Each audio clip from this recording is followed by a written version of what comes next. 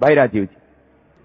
मैं आप सबके सामने एक बहुत गंभीर विषय प्रस्तुत करना चाहता हूँ, और वो विषय है मौत का व्यापार।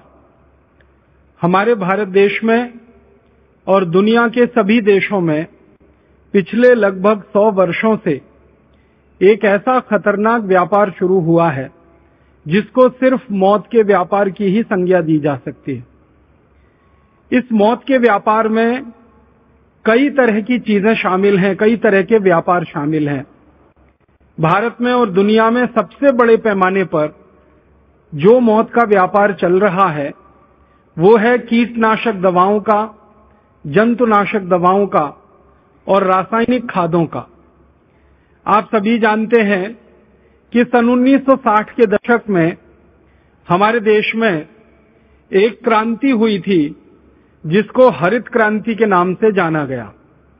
इस हरित क्रांति के बारे में सारे देश में और दुनिया में ये प्रचार किया गया कि अन्न का उत्पादन बढ़ाना है और कीटकों से फ़सल को बचाना है, जंतुओं से फ़सल को बचाना है इंसेक्ट्स और बहुत तरह के पेस्ट फ़सल को खराब कर देते हैं। उससे फ़सल को बचना बहुत ज़रूरी है और फ़सल का उत्पादन बढ़ना बहुत ज़रूरी है। ताकि दुनिया की आबादी का पेट भरा जा सके।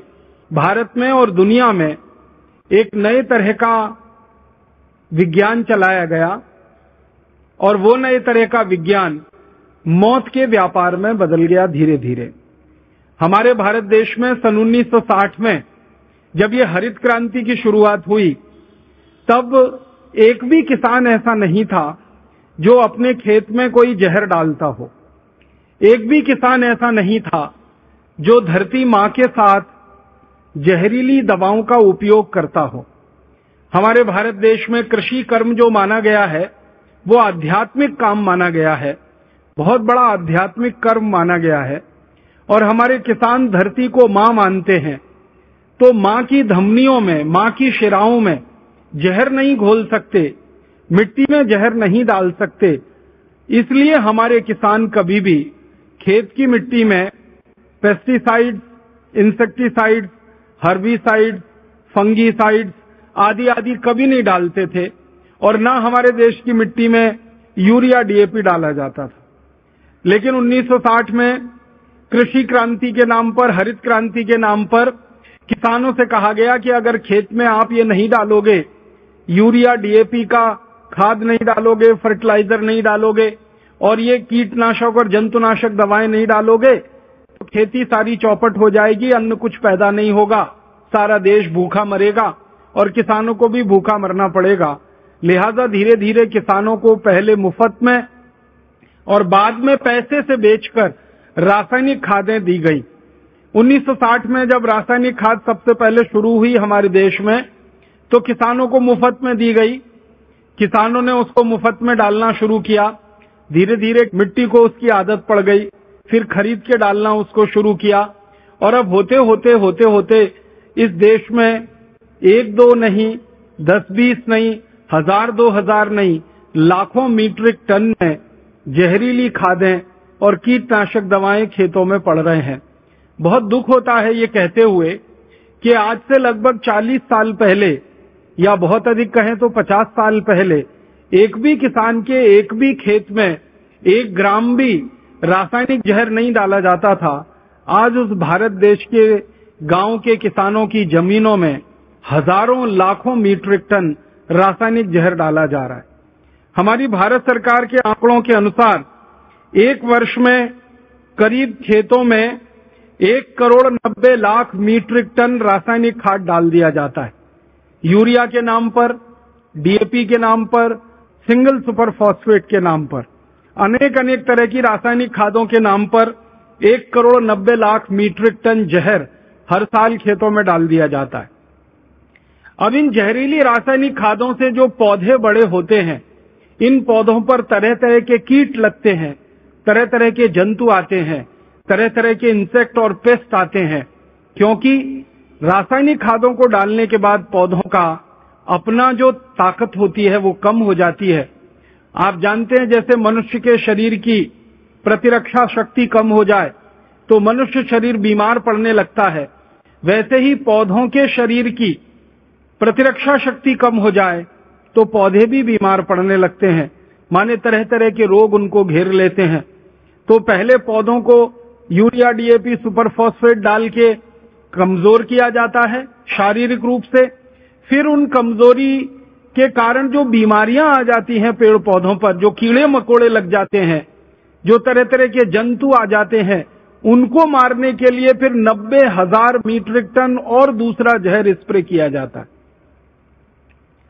पाउडर के फॉर्म में करीब नब्बे हज़ार मीट्रिक टन जहर डाला जाता है अनेक अनेक नामों से डाला जाता है। कोई लिंडेन नाम से डालता है, कोई क्लोरोपायरिफॉस नाम से डालता है कोई डाइक्रोमेट के नाम से डालता है, कोई मोनोक्रोटोफॉस के नाम से डालता है।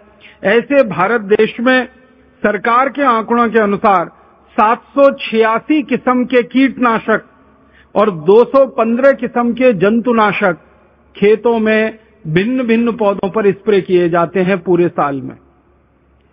अब इन सब जंतुनाशक और कीटनाशकों को जो स्प्रे कराते हैं, किसानों के द्वारा, इसको स्प्रे करने के लिए हमारे देश में नब्बे हज़ार मीट्रिक टन पाउडर फॉर्म में जहर पैदा होता है और करीब एक करोड़ लीटर लिक्विड फॉर्म में दूसरा जहर पैदा होता है, जैसे एंडोसल्फान, जैसे मेलाफियान कुछ जहर हैं जो द्रव फॉर्म में है, लिक्विड फॉर्म में है, और कुछ जहर हैं जो पाउडर फॉर्म में है। जो पाउडर फॉर्म में है नब्बे हज़ार मीट्रिक टन, जो लिक्विड फॉर्म में है, एक करोड़ लीटर। अगर दोनों को इकट्ठा कर दिया जाए और उसको भारत के लोगों की संख्या से बांट दिया जाए तो आपको सुनकर बहुत दुख होगा कि आप सब में मिलकर हर साल लगभग 200 मिलीग्राम जहर इन जंतुनाशकों का, कीटनाशकों का अपने शरीर में भोजन के रूप में खा जाते हैं, जो शरीर को भिन्न भिन्न बीमारियों का शिकार बना देते हमारे भारत के खेतों में डाली जाने वाली जो रासायनिक खाद है और हमारे देश के फ़सलों के ऊपर छिड़का जाने वाला जो जहर है, इसके बारे में जितने भी रिसर्च हुए हैं भारत में और भारत के बाहर, वो ये बताते हैं कि ये जो खाद हम खेतों में डालते हैं, इसका मात्र आठ से नौ प्रतिशत काम में आता है। बाकी सब जहर के रूप में पौधों में जाता है, पौधों से तने में जाता है तने से उनके फल में आता है और फल से फिर आपके भोजन में आता है और भोजन से फिर आपके अंत में शरीर में आ जाता है। इससे भी ज़्यादा गंभीर बात है कि जो पेस्टिसाइड और इंसेक्टिसाइड स्प्रे किए जाते हैं, छिड़के जाते हैं, इनका सिर्फ़ पौधों के लिए तीन से चार प्रतिशत ही उपयोग हो पाता है। बाकी का छियानवे प्रतिशत ये जो जहर है, ये मिट्टी में जाता है, मिट्टी से पौधों की जड़ों में जाता है। जड़ों से तने में जाता है तने से फलों में जाता है और फल से फिर आपके भोजन में आ जाता है।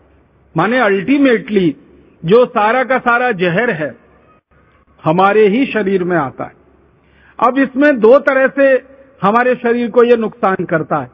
हमारे भारत देश का जो कृषि मंत्रालय है, उनकी जानकारी के अनुसार हर साल ये जो कीटनाशक और जंतुनाशकों का जहर खेत में जो किसान छिड़कते हैं छिहत्तर हज़ार किसान हर साल मर जाते हैं, इसको छिड़कते समय। आप जानते हैं, हमारे देश में कपास की एक फ़सल होती है, जिस पर सबसे ज़्यादा ये कीटनाशक और जंतुनाशक छिड़के जाते हैं। फिर हमारे देश में गन्ने की फ़सल पर, गेहूँ की फ़सल पर, धान की फ़सल पर, सब्जियों की फ़सलों पर तरह तरह के फलों के ऊपर और कई तरह की दालों की फ़सल पर सब तरह की फ़सलों पर ये जो जहर छिड़कते हैं किसान तो जब वो स्प्रे करते हैं, स्प्रे करते समय ये जहर हवा में घुलता है और श्वास के द्वारा वो हवा उनके शरीर में जाती है और थोड़ी सी ओवरडोज होने के बाद किसानों की मौत हो जाती है। हर साल हमारे देश की सरकार के आंकड़ों के अनुसार छिहत्तर हज़ार किसान तो ऐसे ही मर जाते हैं, स्प्रे करते समय, दवा को छिड़कते समय। और उनका इलाज नहीं हो पाता। क्योंकि इन जहर को शरीर से बाहर निकालने के लिए दवाएँ उपलब्ध नहीं है। ज़्यादातर किसान जब इन जहरीले कीटनाशकों के और जंतुनाशकों के प्रभाव में आते हैं तो डॉक्टर के पास पहुँचते पहुँचते मर जाते हैं। कई तो डॉक्टर के पास पहुँच जाते हैं, लेकिन डॉक्टरों के पास उतनी अच्छी कोई चिकित्सा उपलब्ध न होने के कारण थोड़े दिन संघर्ष करते हैं और उनके हॉस्पिटल में दम तोड़ देते हैं। बहुत कम किसान ऐसे भाग्यशाली होते हैं, जो इन दवाओं के दुष्प्रभाव में आने के बाद जीवित बच पाते हैं या पुराने जीवन में लौट पाते हैं। जो थोड़े जीवित भी बच जाते हैं पुराने जीवन में लौटने के लिए, उनके शरीर के कुछ ना कुछ अंग हमेशा के लिए बेकार हो जाते हैं। ये सबसे बड़ी मौत का खेल या व्यापार हमारे देश में और दुनिया में चल रहा है। अब छिहत्तर हज़ार किसान तो प्रत्यक्ष मर जाते हैं। फिर परोक्ष रूप से ये जो जहर हमारे शरीर में आता है, और ये जहर फिर कैंसर का कारण बनता है, डायबिटीज़ का कारण बनता है हृदय घात का कारण बनता है, पैरालिसिस का कारण बनता है, ब्रेन हेमरेज का कारण बनता है, और गंभीर बीमारियों का कारण बनता है, उसमें कितने लाख लोग मर जाते हैं, सरकार के पास इसके आंकड़े उपलब्ध नहीं है। अगर हम कैंसर के भारत में हुए सभी रिसर्चेस को ध्यान में रखें तो कैंसर पे काम करने वाले जितने भी विशेषज्ञों से मैं मिला हूँ, और मैंने उनको एक प्रश्न पूछा है कि आपने 20 साल काम किया कैंसर पर, किसी ने 15 साल काम किया, किसी ने 25 साल काम किया, ऐसे कई वरिष्ठ चिकित्सक और वैज्ञानिक इस देश में हैं। उनसे जब भी मैंने ये सवाल पूछा है कि आप मुझे एक सबसे बड़ा कारण बताइए कैंसर के होने का। कोई व्यक्ति के शरीर में कैंसर होगा या किसी व्यक्ति के शरीर में कैंसर नहीं होगा, इनमें बीसियों कारण हो सकते हैं। लेकिन आपने जो शोध किया 20-25 साल, इसमें सबसे बड़ा कारण क्या निकल के आता है? तो बेहिचक सभी विशेषज्ञ कहते हैं कि कैंसर का भारत में और दुनिया के देशों में सबसे बड़ा कारण जो निकल के आ रहा है, वो जहरीले कीटनाशक और जहरीले जंतुनाशक और जहरीले रासायनिक खाद जो खेती के नाम पर हमारे खेतों में डाले जा रहे हैं, हरित क्रांति के नाम पर खेतों में डाले जा रहे हैं, उत्पादन बढ़ाने के नाम पर खेतों में डाले जा रहे हैं, यही सबसे बड़ा कारण है। कई विशेषज्ञ ये बताते हैं कि ये जहर इतने खराब तरीके से शरीर को खत्म करते हैं कि बहुत सारे अच्छे खासे स्वस्थ दिखने वाले लोग अचानक से चले जाते हैं इस दुनिया को छोड़कर, पता ही नहीं चलता कि उनके गंभीर कारण क्या थे। भारत देश में पंजाब है, हरियाणा है, पश्चिमी उत्तर प्रदेश है, आंध्र प्रदेश है, कर्नाटक है, मध्य प्रदेश का एक इलाका है, छत्तीसगढ़ है, झारखंड है, बिहार है, उड़ीसा है, बंगाल है। ऐसे करीब सत्रह अठारह राज्य हैं, जहाँ सबसे ज़्यादा ये जहर खेतों में डाला जा रहा है। इन सत्रह अठारह राज्यों में एक राज्य सबसे बड़ा है, जहाँ प्रति एकड़ सबसे ज़्यादा जहर खेतों में डाला जा रहा है। उस राज्य का नाम है पंजाब।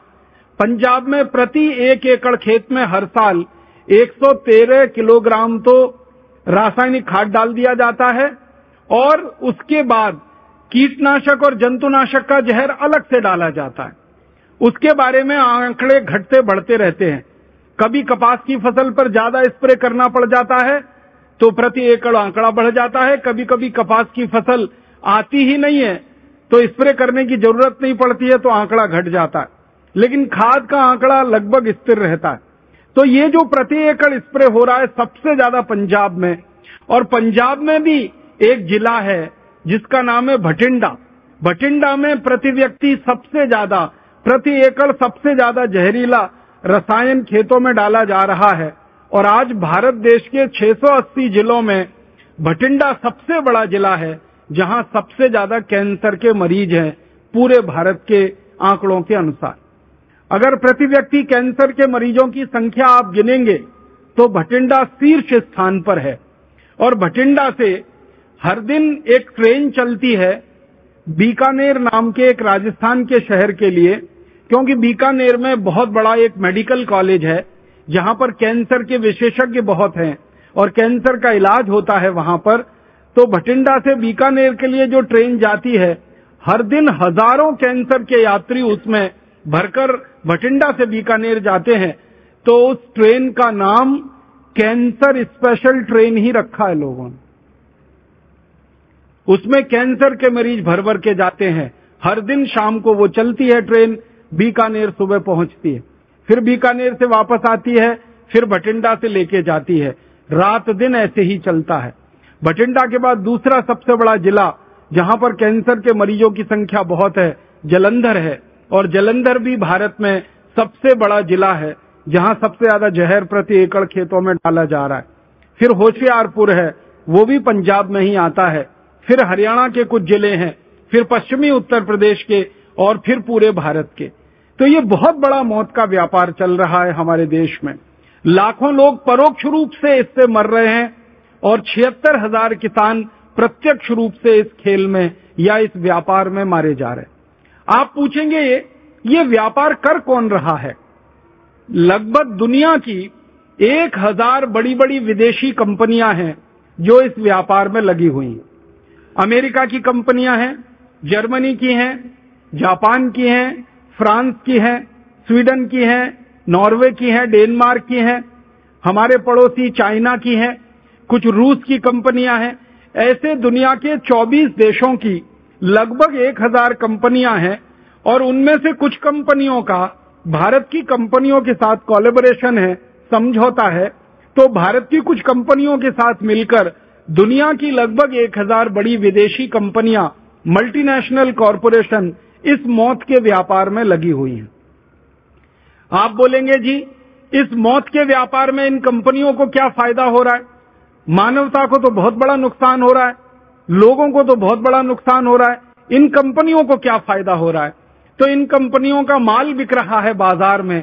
ये जो जहरीले कीटनाशक बना रही हैं, ये जो जहरीला खाद बना रही हैं, इनकी बिक्री धड़ाधड़ बढ़ती चली जा रही है।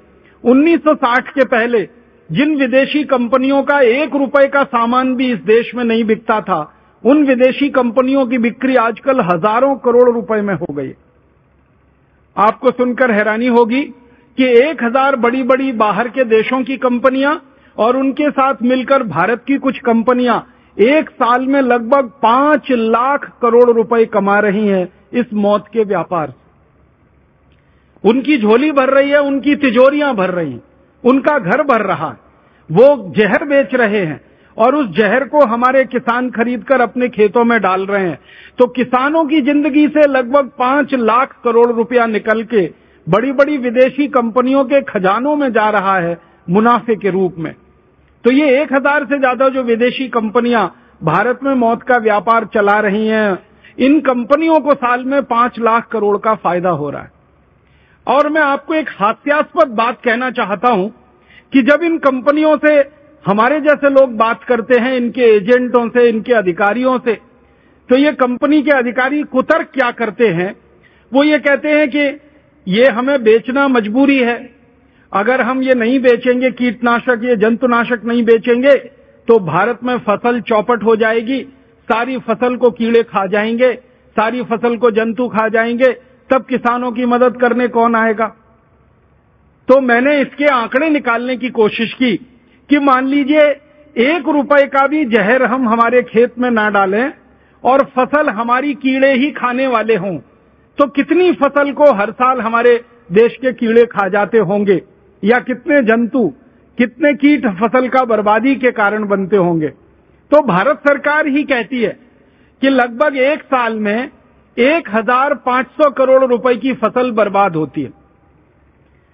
अगर ये जहरीले कीटनाशकों को स्प्रे नहीं किया जाए, आप सभी के ध्यान में ये बात मैं लाना चाहता हूँ, एक हज़ार पाँच सौ करोड़ रुपए की फ़सल बर्बाद होती है अगर ये जहर खेतों में ना डाला जाए। आप जरा सोचिए, एक हज़ार पाँच सौ करोड़ रुपए कितनी बड़ी रकम है, पंद्रह सौ करोड़ रुपए कितनी बड़ी रकम है। एक हज़ार पाँच सौ करोड़ रुपए की फ़सल को बचाने के नाम पर ये एक हज़ार कंपनियाँ पाँच लाख करोड़ रुपए का धंधा कर लेती। ये सिर्फ़ पीटने की बात। आप सोचिए ना एक हज़ार पाँच सौ करोड़ रुपए की फ़सल बर्बाद होती है, भारत सरकार कहती है। पंद्रह अरब रुपए की फ़सल बर्बाद होती है, हमारे देश में किसानों की अगर उस पर जहर ना डाला जाए। एंडोसल्फान स्प्रे ना करें, मेलाथियान स्प्रे ना करें, एलडी कार्ब स्प्रे ना करें, लिंडेन का स्प्रे ना किया जाए, मोनोक्रोटोफॉस ना डाला जाए, डाइक्रोमेट ना डाला जाए, सैकड़ों किस्म के जो कीटनाशक हैं, जहरीले रसायन हैं, ये अगर खेतों में ना डाले जाएँ तो सिर्फ़ 1500 करोड़ रुपए की फ़सल बर्बाद होती है। तो 1500 करोड़ की फ़सल की बर्बादी को रोकने के लिए ये सारी कंपनियाँ मिलकर पाँच लाख करोड़ रुपए का व्यापार कर लेती हैं, जहरीले रसायन बेच लेती हैं। इसका मतलब बहुत साफ़ है, फ़सल को बर्बादी से नहीं बचाना है। वास्तव में इन कंपनियों को मौत का व्यापार चलाना है, जहर का व्यापार करना है, जहर को बिकवाना है। और जहर को हमारे खेतों की धमनियों में डलवाना। ये एक बहुत बड़ी साजिश है और ये एक बहुत बड़ा षड्यंत्र है। ये साजिश और षड्यंत्र में क्यों कहना चाहता हूँ? मैं आपका ध्यान कुछ ऐसे कीटनाशकों की तरफ़ ले जाना चाहता हूँ, जिनको दुनिया के अमीर देशों ने 20 साल पहले अपने देशों में बनाना और खेतों में डालना बंद कर दिया। एक बहुत खराब जहर है, जिसका नाम है एंडोसल्फान। एंडोसल्फान को अमेरिका के देश में 20 साल पहले प्रतिबंधित कर दिया गया। एंडोसल्फान को फ्रांस ने, जर्मनी ने, डेनमार्क ने, नॉर्वे ने, एंडोसल्फान को इंग्लैंड ने, स्कॉटलैंड ने, आयरलैंड ने 20 साल पहले बंद कर दिया। जापान नाम के देश ने एंडोसल्फान का उत्पादन और खेत में डालना 20 साल पहले बंद कर दिया।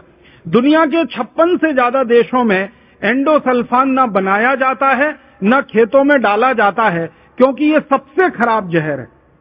एंडोसल्फान के बारे में जापान और अमेरिका और यूरोप के वैज्ञानिकों ने जो शोध किया है, उनका ये कहना है कि अगर इसकी एक बूंद किसी की जीप पर डाल दी जाए तो उतनी पर्याप्त है वो एक बूंद कि उस व्यक्ति को कैंसर हो और वो मर जाए। इतना खतरनाक और तीव्र किस्म का ये जहर है। इसके बारे में दुनिया के विशेषज्ञों ने जब शोध किया तो पता चला कि सेरिब्रल पल्सी नाम की जो बीमारी होती है, उसका सबसे बड़ा कारण में से एक है एंडोसल्फान। बच्चों को जेनेटिक डिसऑर्डर जो होते हैं, उनमें सबसे बड़ा कारण है एंडोसल्फान। कैंसर का एक सबसे बड़ा कारण है एंडोसल्फान। खून में तरह तरह की विकृतियों के आने का बहुत बड़ा कारण है एंडोसल्फान। इसलिए 20 साल पहले एंडोसल्फान को तमाम दुनिया के अमीर देशों ने अपने यहाँ बनाना और बेचना बंद कर दिया। लेकिन हैरानी की बात यह है कि जिन देशों में 20 साल से एंडोसल्फान बनता नहीं है और बेचा नहीं जाता, उन्हीं देशों की कंपनियाँ भारत में आकर एंडोसल्फान बनाती हैं और भारत में बेचती। और हमारे किसानों को उल्टा सीधा पट्टी पढ़ाकर उनको लालच दिलाकर एंडोसल्फान का स्प्रे कराती हैं। अमेरिका की कंपनियाँ अपने देश में एंडोसल्फान बनाती नहीं, भारत में आकर बना के बेचती हैं।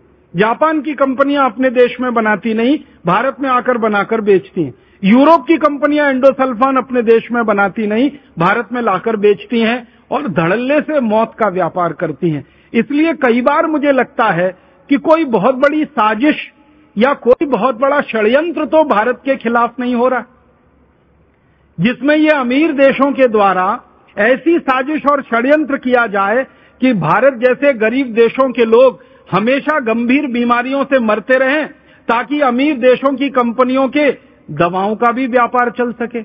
अगर भारत में कैंसर नहीं होगा तो कैंसर की बिकने वाली दवाओं की बिक्री आगे कैसे बढ़ेगी? अगर भारत में जेनेटिक डिसऑर्डर्स नहीं होंगे तो जेनेटिक डिसऑर्डर को ठीक करने के नाम पर बिकने वाली दवाएँ कैसे बिकेंगी? अगर भारत के लोगों के खून में तरह तरह की खराबियाँ और गड़बड़ियाँ नहीं होंगी तो खून की विकृतियों को ठीक करने का दावा करने वाली दवाएँ कैसे बिकेंगी? तो ये तो सीधा सा खेल है। अगर कैंसर बढ़ेगा तो कैंसर की दवाएँ बढ़ेंगी। कैंसर की दवाएँ बढ़ेंगी तो फिर अमेरिकन और यूरोपियन कंपनियों का बिज़नेस चलेगा, फिर उनको मुनाफा होगा। तो एक तरफ़ कैंसर पैदा करने वाले जहर को बेचा जाए, उसमें से मुनाफा कमाया जाए, फिर उस कैंसर को ठीक करने के नाम पर दवाएँ बेची जाएँ, और उसमें से हज़ारों गुना मुनाफा कमाया जाए। आप तो ये बात बहुत अच्छे से जानते होंगे कि भारत में कैंसर की जितनी भी दवाएँ बाज़ार में इस समय प्रचलित है वो ज़्यादातर दवाएँ पेटेंटेड हैं। यूरोपियन और अमेरिकन कंपनियों के कंट्रोल में उनके पेटेंट हैं। और भारत सरकार उनके साथ झगड़ा कर रही है कि आप इन दवाओं को ऑफ़ पेटेंट करने के लिए हमें माने कानून बना लेने दीजिए। वो सरकार को कानून नहीं बनाने दे रहे हैं। परिणाम ये हो रहा है कि कैंसर की दवाएँ सबसे महँगी बिक रही हैं इस देश में। इस विभाग के एक मंत्री हुआ करते थे। उनका नाम था श्री रामविलास पासवान। एक बार उनसे मेरा प्रत्यक्ष चर्चा का मौका मिला था और मैंने उनसे पूछा था कि आप ये रसायन मंत्रालय के मंत्री जब रहे तो आपने जो संघर्ष किया है किस एक बात पर? तो उन्होंने कहा कि कैंसर की दवाएँ सस्ती भारत में बिके, इसके लिए उनका पेटेंट समाप्त किया जाए और उसको ऑफ़ पेटेंट किया जाए, ताकि कोई भी दूसरी दवा कंपनी उनको सस्ता बनाकर भारत में बेच सके। इसके लिए मैं चार साल लगातार मिनिस्ट्री में संघर्ष करता रहा लेकिन मुझे कामयाबी नहीं मिली, क्योंकि ये कैंसर की दवाएँ बेचने वाली कंपनियों की लॉबी इतनी मज़बूत है कि इसने पूरे देश के मंत्रालयों को अपनी मुट्ठी में बंद किया हुआ हमारे देश का मंत्री कुछ कंपनियों की लॉबी के सामने हार जाता है, परास्त हो जाता है। तो आप देखिए, षड्यंत्र का हिस्सा क्या है? एक तरफ़ एंडोसल्फान जैसे जहर, लिंडेन जैसे जहर एलडी कार्ब जैसे जहर जो यूरोप और अमेरिका में नहीं बिक रहे हैं, उनको भारत में लाकर बेचा जाए और पाँच लाख करोड़ रुपए उसमें से कमाए जाएँ। फिर ये जहर के कारण भारत के लोगों को कैंसर होने लगे। फिर उस कैंसर का इलाज करने के नाम पर दवाएँ बेची जाएँ और उसमें लाखों करोड़ों रुपए कमाया जाए। ऐसा षड्यंत्र और ऐसी साजिश इस मौत के व्यापार में चल रही। और ये मौत का व्यापार इतना गहरा हो गया है कि भारत का किसान तो बिल्कुल इसमें मजबूर है मर जाने के लिए। हम और आप सब भी बहुत मजबूर हो चुके हैं मर जाने के लिए। आप बहुत अच्छे, योग्य चिकित्सक हैं। मैं आपको विनम्रता पूर्वक एक बात कहना चाहता हूँ। आप चिकित्सक के रूप में अपना क्लिनिक चलाते हैं, वहाँ तक तो ठीक है। लेकिन जब आप अपना घर चलाने के लिए सब्ज़ी बाज़ार जाते हैं और सब्ज़ियाँ खरीद कर लाते हैं और सब्जियों के साथ साथ कभी आप फल खरीद कर लाते हैं आपने कभी अंगूर खरीदा होगा बाज़ार से? काला अंगूर खरीदा हो या सफ़ेद अंगूर खरीदा हो?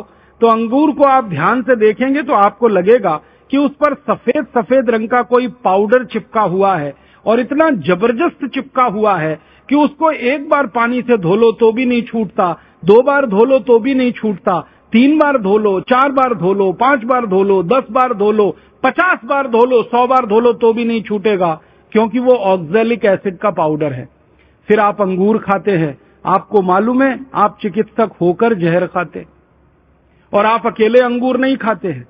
आपके किसी सहयोगी को भी खिलाते हैं, आपके किसी मेहमान को भी खिलाते हैं। एक तरफ़ कहते हैं, मेहमान देवता होता है और उन्हीं को जहर भरा अंगूर खिला देते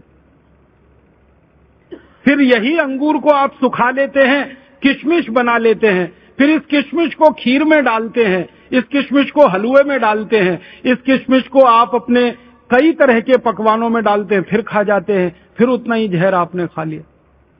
बाज़ार से इसी तरह से आप टमाटर खरीदते हैं, सेब खरीदते हैं। आप कभी बाहर चले जाइए जहाँ सेब पैदा होता है, जम्मू कश्मीर और हिमाचल प्रदेश में। मैंने तो अपनी आँखों से देखा है किसानों को कि सेब का जो गुच्छा होता है ना, उसको सीधे डुबो देते हैं जहरीले रसायन में। फिर हम भिंडी खाते हैं हम तोरई खाते हैं, दूधी खाते हैं, हम पालक खाते हैं, मेथी खाते हैं, सब्जियों के ऊपर इतना स्प्रे होता है इन सभी केमिकल्स का कि हालत खराब है खाते खाते एक साधारण भारतवासी कल्पना करिए, साल भर में 200 मिलीग्राम जहर खा जाता है सब्जियों के रूप में और एक साधारण भारतवासी गेहूँ, चावल, चने, दाल पर जो यूरिया डाला गया डीएपी सुपरफॉस्फेट डाला गया, उसके रूप में करीब करीब एक किलो 700 ग्राम रसायन खा जाता है। यूरिया डीएपी सुपरफॉस्फेट के रूप में एक किलो 700 ग्राम हम रसायन खा जाते हैं। एंडोसल्फान एल्डिकार कार्ब लिंडेन के रूप में 200 ग्राम और खतरनाक जहर खा जाते हैं। माने साल भर में लगभग दो किलोग्राम जहर हमारे शरीर में जा रहा है। फिर इस जहर को बाहर निकालने के लिए भगवान ने आपका जो तंत्र बना रखा है, उसको क्या अतिरिक्त काम करना पड़ रहा है? और वो काम करते करते आपका तंत्र फेल हो जाए, आपकी किडनी फेल हो जाए, आपका लीवर खराब हो जाए, आपकी ज़िंदगी बिल्कुल मौत के मुँह में समा जाए तो कौन जिम्मेदार है उसका?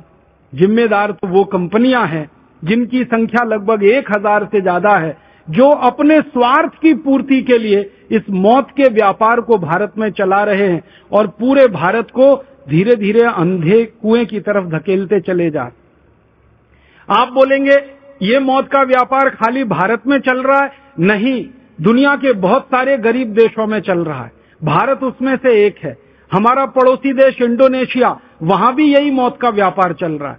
हमारा एक पड़ोसी देश वियतनाम, वहाँ भी यही मौत का व्यापार चल रहा है। हमारा एक पड़ोसी देश अफ्रीका, वहाँ भी यही मौत का व्यापार चल रहा है। दुनिया में जो गरीब देश माने जाते हैं, जो विकासशील देश माने जाते हैं, जो अभी तक अमीर नहीं हुए हैं, समृद्धशाली नहीं हुए हैं, ऐसे डेढ़ सौ से ज़्यादा देशों में यही मौत का व्यापार चल रहा है और यही हज़ार कंपनियाँ हैं, जिनके नाम हैं, वो इन देशों में भी यही मौत बांट रही हैं।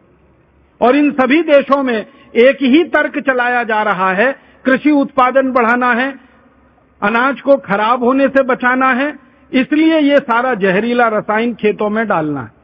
अब जब इन कंपनियों को यह कहा जाता है कि उत्पादन अगर कृषि का बढ़ाना है और अनाज को खराब होने से बचाना है, फल सब्जियों को सड़ने से बचाना है तो ये काम तुम तुम्हारे देश में क्यों नहीं करते? अमेरिका में क्यों नहीं ये जहर बना के बेचते? कनाडा में ये जहर बना के क्यों नहीं बेचते? जर्मनी और फ्रांस में ये जहर क्यों नहीं बिकता है? यूरोप के दूसरे देशों में ये जहर क्यों नहीं बिकता है? अगर अन्न का उत्पादन उनको बढ़ाना है भारत जैसे देशों में तो उनके अपने देश में भी तो अन्न का उत्पादन उनको बढ़ाना होगा। हमारे भोजन को अगर उन्हें बचाना है तो उनके अपने देश में भी होने वाले भोजन को तो बचाना होगा। आप इस बात को समझ लीजिए कि उनके अपने देशों में वो जहर मुक्त खेती करवाते। अमेरिका में और यूरोप के देशों में जो किसान खेत में जहर नहीं डालते, उनको 400 प्रतिशत तक सब्सिडी दी जाती है सरकारों की तरफ़ से। ये 400 प्रतिशत सब्सिडी का मतलब आपको समझाना चाहता हूँ, अगर कोई किसान अमेरिका और यूरोप में 100 डॉलर का उत्पादन करे और उस खेत के उत्पादन में वो एक पैसे का भी जहर ना डाले, यूरिया, डीएपी ना डाले, एंडोसल्फन आदि ना डाले तो उस किसान के 100 डॉलर के उत्पादन को सरकार 400 डॉलर में खरीदती है। ज़्यादा कीमत दे के खरीदती है।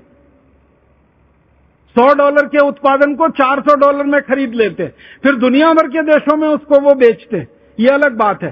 तो अपने देश में यूरोप और अमेरिका के किसानों को वो कहते हैं कि जहर मुक्त खेती करो विश्व मुक्त खेती करो, खेत में जहर मत डालो। और ज़्यादा पैसा ले लो सरकार से। और वही देश की कंपनियाँ भारत में आकर उल्टा काम करती हैं जहर युक्त खेती कराती हैं विष युक्त खेती कराती हैं। और हमारे खेतों की धमनियों में, हमारी धरती माता की धमनियों में इतना जहर इतना जहर इतना जहर डलवा दिया है कि आपके खून में, मेरे खून में, भारतवासियों के खून में ये जहर आने लगा है।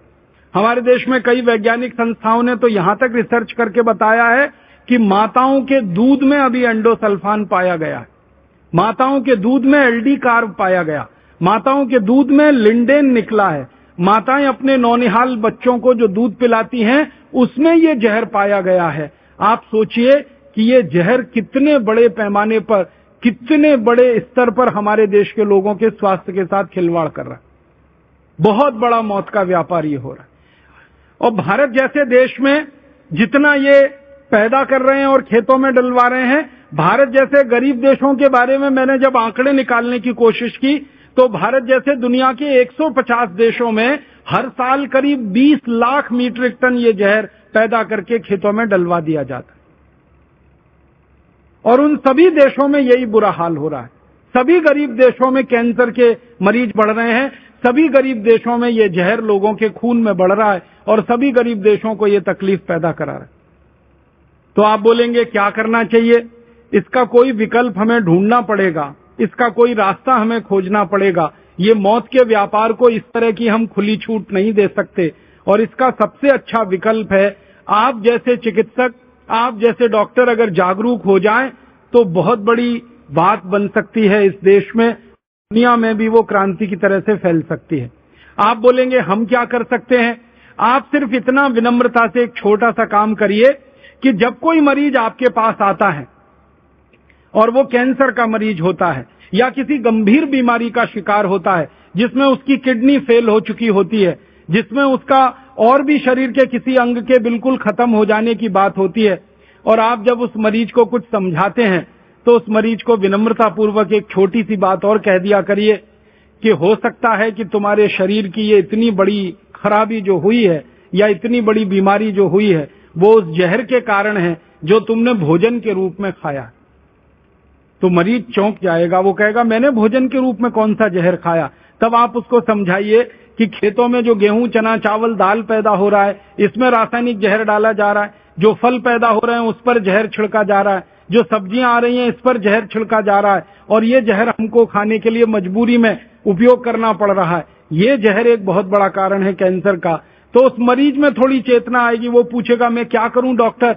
तो आप उसको कहिए कि, तुम जिससे खरीदते हो, उसके पास जाओ। जो तुमको सब्ज़ियाँ बेचता है, जो फल बेचता है, जो अन्न बेचता है, और उसको कहो कि, मुझे बिना जहर की सब्ज़ी चाहिए, मुझे बिना जहर का अन्न चाहिए, मुझे विष मुक्त गेहूँ, चावल, चना, दाल, मटर चाहिए, मुझे विष मुक्त सब्ज़ियाँ चाहिए, मुझे विष मुक्त फल चाहिए। तो जब मांग पैदा होगी तो उत्पादन भी होगा। अर्थशास्त्र में एक सामान्य सिद्धांत है कि डिमांड पहले होती है, सप्लाई उसके पीछे पीछे आती है। आप सब चिकित्सक बंधु अगर चाहें तो सारे देश में जैविक अनाज के लिए, बहुत अच्छे अनाज के लिए, विषमुक्त अनाज के लिए जहर मुक्त अनाज के लिए एक वातावरण निर्माण कर सकते हैं। आप इस देश में एक डिमांड खड़ी कर सकते हैं और उस डिमांड को भरने के लिए फिर किसानों को मजबूर होकर गाय के गोबर से, भैंस के गोबर से, बैल के गोबर से विषमुक्त खेती करनी पड़ेगी जहर मुक्त खेती करनी पड़ेगी, फिर उनका बिकना शुरू होगा, फिर धीरे धीरे इन कंपनियों के बाज़ार खत्म होंगे और इनका जो षड्यंत्र और साजिश चल रहा है भारत में, ये पूरी तरह से हम नाकामयाब बना पाएँगे और इसको खत्म कर पाएँगे। यही एक रास्ता। दूसरा कोई रास्ता नहीं। और आपसे इस रास्ते पर चलने की अपेक्षा इसलिए की जाती है कि आप इसको अच्छे से समझ सकते हैं और किसी को समझा सकते हैं। हमारे देश में डॉक्टर की कही हुई बात और एक साधारण व्यक्ति की कही हुई बात में ज़मीन आसमान का अंतर होता है। जब कोई मरीज़ किसी डॉक्टर के मुँह से कुछ सुन लेता है तो वो कहता है, ये डॉक्टर ने कहा है। और उसके लिए डॉक्टर भगवान का प्रतिरूप है। वो इससे कम पर बात नहीं करता है। मैंने देखा है बहुत सारे मरीजों को वो आपका प्रिस्क्रिप्शन लिखा हुआ स्लिप लेके किसी दुकान पर जाते हैं केमिस्ट के पास। और मैंने देखा वो झगड़ा करते हैं केमिस्ट से। झगड़ा किस बात का होता है? केमिस्ट कहता है कि डॉक्टर साहब ने ये जो दवा लिखी है, ये तो है नहीं मेरे पास। ऐसी ही बहुत अच्छी दूसरी दवा है। वो झगड़ा करता है, नहीं नहीं, मुझे वो नहीं चाहिए, ये ही चाहिए जो डॉक्टर ने लिखी है। और वो समझाते समझाते केमिस्ट परेशान होता है कि भैया, एक ही दवा के ये दो नाम है। वो मानता ही नहीं है। डॉक्टर ने लिखी है। इसलिए मुझे तो यही चाहिए। क्योंकि उसका भरोसा है आप पर, क्योंकि विश्वास है आप पर। आपके ऊपर जो मरीजों का ये भरोसा और विश्वास है, इसका सदुपयोग करते हुए आप इस बड़े मौत के व्यापार को बंद कराने में बहुत बड़े सहायक हो सकते हैं। जब आप मरीजों को ये कहना शुरू कर देंगे कि देखो भाई, तुम्हारी बीमारी ठीक करने के लिए दवा तो मैं दे रहा हूँ, लेकिन इस दवा से ज़्यादा भी तुम्हें दूसरे काम करने पड़ेंगे। तो वो पूछेगा, क्या करूँ? तो कहने लगो जहर मुक्त अन्न खाना शुरू करो। जहर मुक्त सब्ज़ियाँ खाना शुरू करो। जहर मुक्त फल खाना शुरू करो। तो वो कहेगा, कहाँ मिलेगा? तो जहाँ से ये मिल रहा है जहर युक्त वहीं जहर मुक्त मिलेगा। मांग पैदा करो, डिमांड पैदा करो तो लोग अपने आप पैदा करेंगे। तो पहले कम पैदा होगा, शायद ज़्यादा कीमत में बिकेगा, फिर ज़्यादा पैदा होने लगेगा।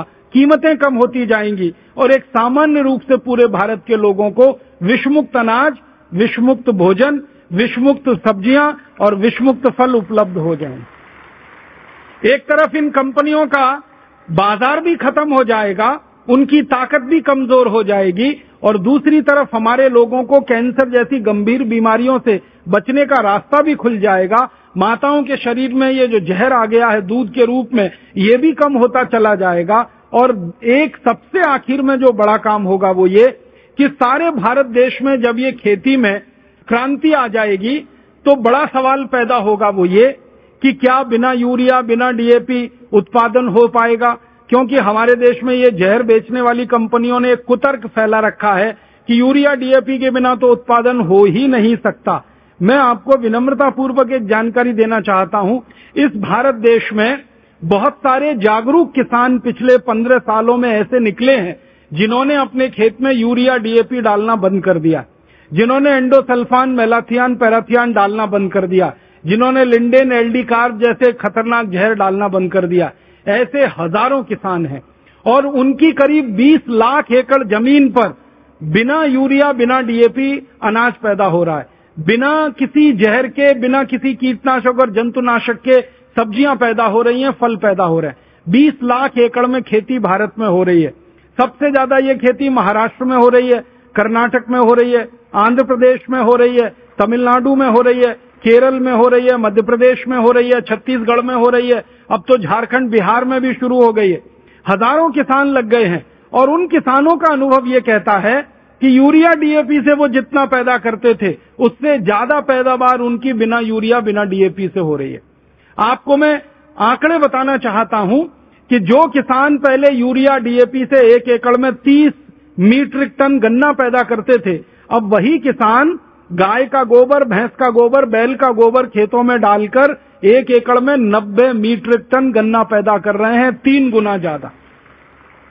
जो किसान पहले यूरिया डीएपी से एक एकड़ में 15-20 क्विंटल तक गेहूँ पैदा करते थे, आज वो गाय के गोबर, बैल के गोबर, भैंस के गोबर का उपयोग करके एक एकड़ में 25 से 30 क्विंटल गेहूँ पैदा कर रहे हैं, ठीक दुगना। जो किसान पहले दो से ढाई क्विंटल कपास पैदा करते थे, एक एकड़ में यूरिया डीएपी से। आज वो सात क्विंटल कपास पैदा कर रहे हैं, बिना यूरिया, बिना डीएपी के। गेहूँ ज़्यादा हो रहा है, धान ज़्यादा हो रहा है, गन्ना ज़्यादा हो रहा है, सब्ज़ियाँ भरपूर हो रही हैं, फल भरपूर हो रहे हैं। तो ये सबसे बड़ा झूठ है, जो पिछले 40-45 साल इस देश में फैलाया गया, कि उत्पादन सिर्फ़ यूरिया डीएपी से ही बढ़ सकता है। उत्पादन बिना यूरिया, बिना डीएपी के भी बढ़ता है। और दुनिया में जब ये कीटनाशक और जहर नहीं बनाया जाता था, दूसरे विश्व युद्ध के पहले तक कभी भी दुनिया में ये जहर बना नहीं और कहीं डाला नहीं गया।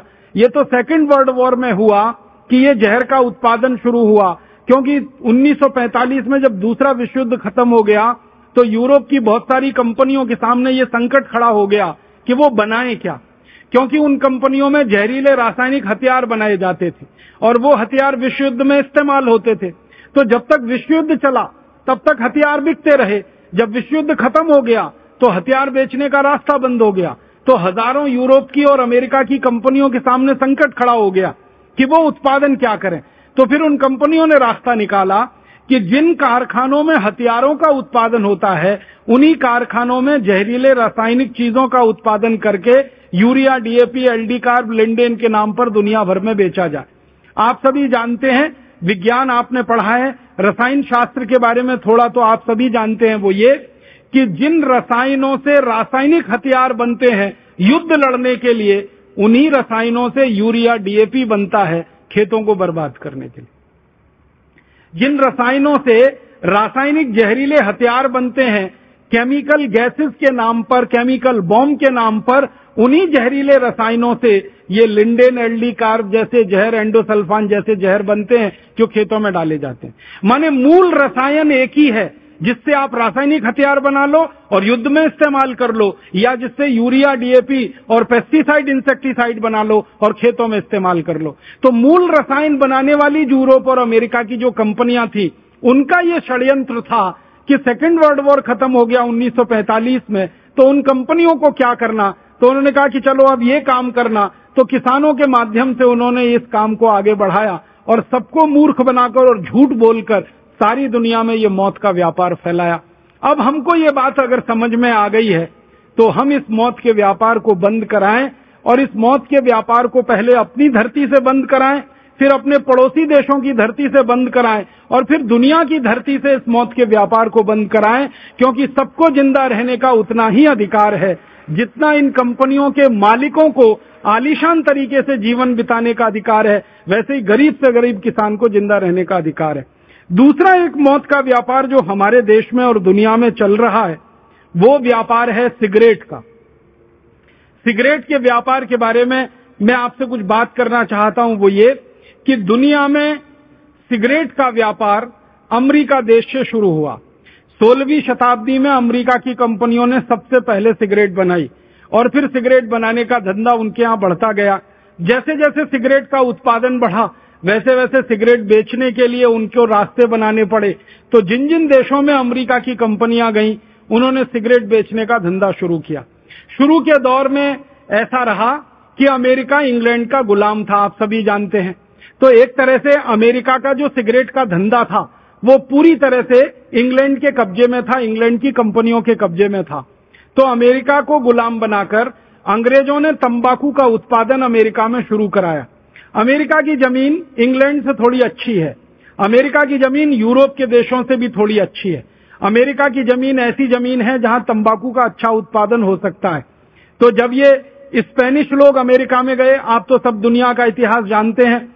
सबसे पहला अमेरिका में जाने वाला जो यूरोपियन था, उसका नाम था कोलंबस। चौदह में वो अमेरिका में पहुँचा।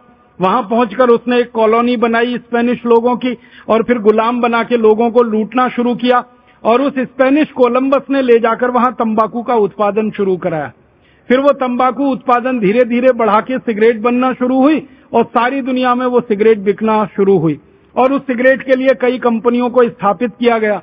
उस दौर में जो सिगरेट बनाने वाली सबसे पहली कंपनी बनी, उसका नाम फिलिप मॉरिस। वो अभी भी ज़िंदा है। एक और दूसरी बड़ी कंपनी बनी, जिसका नाम था आरजे रेनॉल्ड, वो अभी भी ज़िंदा है। एक और तीसरी बड़ी सिगरेट बनाने वाली कंपनी बनी, जिसका नाम था अमेरिकन टोबैको कंपनी, जिसका भारतीय नाम है इंडियन टोबैको कंपनी। आपने भारत में एक नाम सुना होगा, आईटीसी। ये मूल नाम है अमेरिकन टोबैको कंपनी। उसका भारतीयकरण करके कर दिया इंडियन टोबैको कंपनी। सारी दुनिया के देशों में ये कंपनी काम करती है। श्रीलंका में इसका नाम होता है श्रीलंका टोबैको कंपनी या सीलोन टोबैको कंपनी। भारत में नाम होता है इंडियन टोबैको कंपनी। पाकिस्तान में उसका नाम है पाकिस्तान टोबैको कंपनी। इंडोनेशिया में उसका नाम है इंडोनेशियन टोबैको कंपनी। माने आदत है इन कंपनियों की कि जिस देश में घुसना, उसका नाम पहले अपने साथ लगा लेना, ताकि स्थानीय लोगों को लगे कि ये तो उनके ही देश की कंपनी है। तो ऐसे करके ये सिगरेट का धंधा चला। एक जमाना था कि अमेरिका में ये लोग सिगरेट बनाते थे, दूसरे देशों में ले जाकर बेचते थे।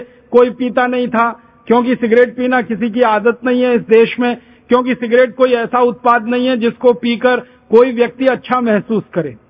सिगरेट तो सबसे खराब उत्पादों में गिना जाता। लेकिन इन्होंने सिगरेट के बारे में तरह तरह के कुतर्क प्रचलित किए। उनमें से एक कुतर्क था जो आज तक चला आ रहा है। सिगरेट पीने से मर्दानगी आती है। सिगरेट पीने से पौरुष बढ़ता है। सिगरेट पीने से ताकत बढ़ती है। सिगरेट स्टेटस सिंबल है।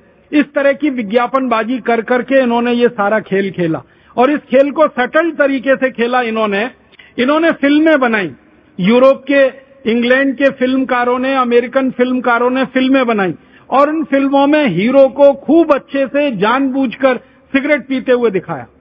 एक हीरो दस सिगरेट पी रहा, दूसरा बीस पी रहा, तीसरा तीस पी रहा तो जो ज़्यादा बड़ा हीरो ज़्यादा सिगरेट पी रहा, उन फ़िल्मों को सारी दुनिया में प्रचारित किया गया। धीरे धीरे दुनिया के लोगों में सिगरेट पीने की लत लग गई, और सिगरेट की लत लगी तो उसका उत्पादन बढ़ा। फिर उत्पादन बढ़ा तो और बिक्री बढ़ी, फिर और उत्पादन बढ़ा। और अब मैं आपसे कहना चाहता हूँ वो ये कि सोलहवीं शताब्दी में दुनिया में एक सिगरेट नहीं बनती थी, और आज सारी दुनिया में पाँच हज़ार पाँच सौ अरब सिगरेट हर साल बनती। है पाँच हज़ार पाँच सौ अरब सिगरेट, पचपन सौ अरब सिगरेट। अरब बिलियन अंग्रेज़ी में अमेरिकन बिलियन सौ करोड़ का होता है। तो पाँच हज़ार पाँच सौ अरब सिगरेट सारी दुनिया में बनती है और इसको 142 करोड़ लोग पीते अब ये 142 करोड़ लोग दुर्भाग्य से अमेरिका में, यूरोप में, भारत और भारत जैसे कई गरीब देशों में है। और इन देशों को सिगरेट पिला पिला के, पिला पिला के लोगों का सारा खून पसीने की कमाई का पैसा निचोड़ रही है ये कंपनियाँ। फिलिप मॉरिस है आरजे रेनोल्ड है, अमेरिकन टोबैको कंपनी है। ऐसी सिगरेट के धंधे में लगी हुई 40 बड़ी कंपनियाँ हैं अमेरिका और यूरोप के देशों की। ये कंपनियाँ अंधाधुंध व्यापार कर रही हैं और इस व्यापार में अंधाधुंध मुनाफा कमा रही। आपके मन में एक प्रश्न आ सकता है कि मुनाफा कितना हो सकता है सिगरेट के बिज़नेस में? हज़ारों प्रतिशत का मुनाफा है सिगरेट के बिज़नेस। एक सिगरेट बनाने का अधिकतम खर्चा, इन कंपनियों की बैलेंस शीट में से आंकड़े निकालकर मैं आपसे बात कर रहा हूँ। वो फिलिप मॉरिस हो, या आरजे रेनोल्ड हो, या अमेरिकन टोबैको कंपनी हो, या मार्ल बोरो हो, कोई भी सिगरेट बनाने वाली बड़ी कंपनी की बैलेंस शीट आप देखो निकाल के। एक सिगरेट बनाने का अधिकतम खर्चा 20 पैसे आता है। एक सिगरेट बनाने का अधिकतम खर्चा 20 पैसे आता है। अगर 20 पैसे सिगरेट बनाने का खर्चा है और दो रुपए में सिगरेट बिक रही है तो आप अंदाज़ा लगा लीजिए मुनाफा हज़ारों प्रतिशत में है। और ये कंपनियाँ लाखों करोड़ों रुपए कमा रही हैं इस धंधे से जो सिगरेट का धंधा है। भारत में इन कंपनियों का क्या हाल है? हमारे देश में ये जो कंपनियाँ हैं, जिनके नाम मैंने लिए, ऐसी 40 कंपनियाँ ये हर साल करीब 20 अरब सिगरेट भारत में भी बेच रही। और वो 20 अरब सिगरेट को हमारे देश के लगभग 20 करोड़ लोग पी रहे हैं और पीकर अपने फेफड़े गला रहे हैं, अपने खून को विषाक्त कर रहे हैं। और आप जानते हैं कि जो लोग सिगरेट पीते हैं, वो अपना जितना नुकसान करते हैं, उससे ज़्यादा नुकसान वो उस पड़ोसी का कर देते हैं, जो उनके नज़दीक बैठता है और सिगरेट नहीं पीता है कभी आप जानते हैं जो पैसिव स्मोकर होता है वो एक्टिव स्मोकर से ज़्यादा खतरनाक और संवेदनशील स्थिति में होता है। क्योंकि ये जो पैसिव स्मोकर है और ये जो एक्टिव स्मोकर है, जो पीने वाला है, वो तो धुएँ को बाहर फेंकता है और जो नहीं पीने वाला है, वो सारे धुएँ को अपने द्वारा खींच लेता है अंदर। तो पीने वाले से ज़्यादा धुआँ नहीं पीने वाले के शरीर में चला जाता है। आप जानते हैं कि किसी बस में बैठा हुआ कोई एक व्यक्ति सिगरेट सुलगा ले, पूरी बस परेशान हो सकती है। रेल के डिब्बे में बैठा हुआ कोई व्यक्ति एक सिगरेट सुलगा ले, पूरे डिब्बे में बैठे हुए लोग परेशान हो जाते हैं। तो भारत में ऐसे 20 करोड़ लोगों को लत पड़ गई सिगरेट पीने की, और वो पी पी के अपने हृदय को जला रहे हैं, खून को जला रहे हैं, फेफड़ों को जला रहे हैं, और अपने पड़ोसियों को भी जला रहे एक और दूसरा बड़ा मौत का व्यापार चल रहा है इस देश में। इस मौत के व्यापार को बढ़ाने में भारत देश में दो तरह के लोगों की बड़ी भूमिका रही है। एक तो नेताओं की जिन्होंने इन सिगरेट कंपनियों को खुली छूट दे रखी है, जो सिगरेट बना के भारत में बेच रहे हैं, और दूसरा सिगरेट के प्रचार करने वाले प्रचारकों की, जिन्होंने सिगरेट का अंधाधुंध प्रचार किया है इस देश में। आपको मैं बताना चाहता हूँ, हमारे देश में आईटीसी कंपनी की एक सिगरेट बिकती है, जिसका ब्रांड नेम है Wills. W I double L S, Wills. इस ब्रांड नेम से सबसे ज़्यादा बिकने वाली सिगरेट है वो आईटीसी की कंपनी की है। अब इस सिगरेट को भारत में ज़्यादा से ज़्यादा बिकवाना तो ये कंपनी ने पता है क्या किया? सालों साल इसने भारत की पूरी क्रिकेट टीम को खरीद लिया। सालों साल। और आप याद करिए कि भारत की क्रिकेट के टीम के सारे खिलाड़ी जो टी शर्ट पहनते थे, उस पर सामने छाती पर विल्स लिखा रहता था। इंडिया पीछे लिखा होता था, विल्स आगे लिखा होता था। भारत पीछे है, सिगरेट बेचने वाली कंपनी का नाम आगे है। भारत के बड़े बड़े क्रिकेट खिलाड़ी में नाम नहीं लेना चाहता, जिनको ये देश तालियाँ बजा बजा कर अपनी कंधों पर उठा के घूम रहा है, ये सारे बड़े क्रिकेट खिलाड़ियों ने विल्स का सबसे ज़्यादा प्रचार किया हमारे देश में सबसे ज़्यादा रन जिस क्रिकेट खिलाड़ी ने बनाए हैं, वो विल्स का सालों साल प्रचारक रहा है। उसके बैट पर विल्स लिखा रहता है उसके ग्लब्स होते हैं, उस पर विल्स का स्टिकर, उसकी छाती पर विल्स, उसके पैड पर विल्स, हर जगह विल्स विल्स विल्स। और क्या होता था? क्रिकेट का मैच होता था तो ट्रॉफी का नाम विल्स ट्रॉफी रखा जाता है। मैदान जिस पर खेल हो रहा है क्रिकेट का उसमें दो तरफ़ विकेट्स होते हैं। दोनों तरफ़ जो एंड होता है बॉलिंग करने का, वहाँ विल्स लिखा जाता था। फिर मैदान में चारों तरफ़ विल्स के बहुत सारे होर्डिंग्स और साइन लगाए जाते थे। मतलब जो क्रिकेट मैच देखने आ रहे हैं, वो क्रिकेट से ज़्यादा विल्स विल्स विल्स देखते थे। और फिर, जब बड़े बड़े क्रिकेट खिलाड़ी विल्स का स्पीकर लगा के मैच खेलते हैं विल्स का पैड पहन के मैच खेलते हैं विल्स के ग्लव्स पहन के मैच खेलते हैं तो देखने वाला जो नौजवान वर्ग है, उसको भी लगता है अच्छा क्रिकेट खिलाड़ी होना है तो विल्स पीना ही पड़ेगा। छक्का मारने वाला क्रिकेट खिलाड़ी होना है तो विल्स पीना ही पड़ेगा। चौका मारने वाला खिलाड़ी होना है तो विल्स पीना ही पड़ेगा। और उसके चक्कर में फिर ये विल्स की बिक्री बढ़ते बढ़ते बढ़ते बढ़ते भारत में यहाँ तक पहुँची कि बहुत दुख होता है। हर दिन भारत में तीन हज़ार नए लड़के सिगरेट पीना शुरू कर देते हैं। सरकार के आंकड़े, हर दिन। सारी दुनिया में हर दिन एक लाख नए बच्चे, जिनकी उम्र तेरह चौदह साल के आसपास होती है, वो सिगरेट पीना शुरू कर देते हैं। ये विल्स के जैसे प्रचार का दुष्परिणाम है। तो क्रिकेट का प्रचार नहीं होता, विल्स का प्रचार होता। और क्रिकेट खिलाड़ियों के साथ साथ सिनेमा के जो हीरो हीरोइन हैं एक्टर एक्ट्रेसेस हैं, ये हर दृश्य में ऐसा कुछ ना कुछ ज़रूर बात लाएँगे कि हीरो सिगरेट पिए।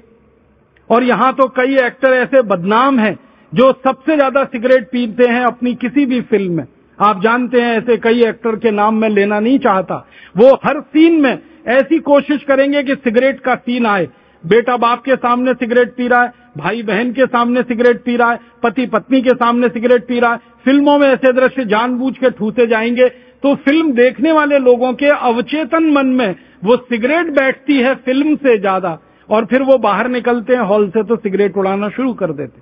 और आप जानते हैं चौदह पंद्रह साल की उम्र में किसी ने एक बार अगर सिगरेट पी ली तो फिर उसको आप सिगरेट का नशेड़ी बनाने से नहीं रोक सकते, क्योंकि वही सबसे संवेदनशील उम्र होती है, और धीरे धीरे उस रास्ते पर वो चल पड़ते। फिर इस सिगरेट से होने वाली जो मौतें हैं सारी दुनिया में सरकार सारी दुनिया की कहती है कि कैंसर में जो सबसे बड़ा कारण है, मैंने बताया जहर एंडोसल्फान जैसा और मेलाथियान जैसा और ये यूरिया डीएपी उसके बाद दूसरे नंबर पर जो सबसे बड़ा कारण है कैंसर का, वो सिगरेट ही है। और सारी दुनिया में करोड़ों करोड़ों लोग इस सिगरेट को पी के मर रहे हैं, प्रत्यक्ष रूप से, परोक्ष रूप से। प्रत्यक्ष रूप से वो मर रहे हैं जो सिगरेट को खींच रहे हैं, परोक्ष रूप से वो मर रहे हैं जो उनके पड़ोस में बैठकर सारा धुआँ खींच रहे हैं। भारत में तो अभी धीरे धीरे सिगरेट की बिक्री बढ़ा रहे हैं। चीन जैसे देश में काफ़ी इन्होंने बिक्री बढ़ा दी है। 1320 सिगरेट प्रति व्यक्ति चीन में बिकती है। अमेरिका में 1670 सिगरेट प्रति व्यक्ति बिकती है। जापान में 2600 सिगरेट प्रति व्यक्ति। रूस में 1760 इंडोनेशिया में करीब हज़ार। और ऐसे ही ये बिक्री बढ़ाते बढ़ाते इनका अंतिम लक्ष्य है कि दुनिया के अधिक से अधिक लोगों को सिगरेट पिला देना। ताकि 40 विदेशी कंपनियों के खजाने में लाखों करोड़ों रुपए जमा हो सके। ये दूसरा बड़ा मौत का व्यापार है जो चल रहा है हमारे देश में और दुनिया में।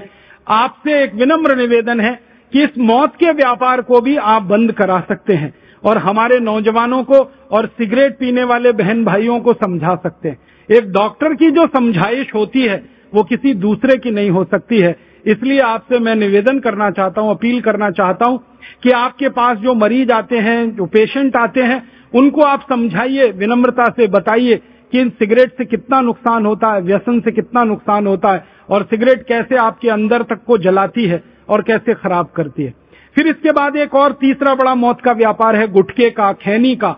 ये पाँच हज़ार करोड़ का व्यापार है और लाखों लोग इस व्यापार में परेशान हो रहे हैं। फिर एक इसके बाद का आगे का व्यापार है, बीड़ी का।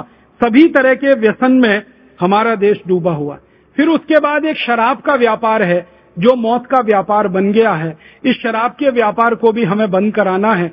भारत में बत्तीस हज़ार शराब की दुकानें हैं, बीस हज़ार करोड़ की शराब बिक रही है। लाखों करोड़ों लोग इससे बर्बाद हो रहे हैं।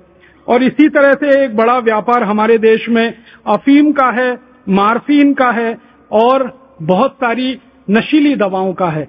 हज़ारों मीट्रिक टन नशीली दवाएँ बिक रही हैं और लोगों को तकलीफ़ में डाल रही हैं। तो मेरा आप सभी चिकित्सक भाइयों से यही विनम्र निवेदन है कि इन सभी मौत के व्यापारों को इस देश में जल्दी से जल्दी आप बंद कराइए और जल्दी से जल्दी इस भारत देश को एक रहने लायक अच्छा समर्थ, स्वस्थ और समृद्धशाली देश बनाइए। हमें चिकित्सा के संदर्भ में इस पर किस तरह से अपने दायित्वों को पूरा निभाना है और इस बेबसी से इस देश को बाहर निकालना है और जो मानवता के प्रति हमारे कर्तव्य हैं, उनको किस तरह से हम निभा पाए, इसी व्याख्यान के लिए मैं भाई राजीव जी को आमंत्रित कर रहा हूँ। हमारे भारत देश में आज़ादी आई 15 अगस्त 1947 को तो उस समय 10 करोड़ रुपए की दवाएँ देश में इस्तेमाल होती थी।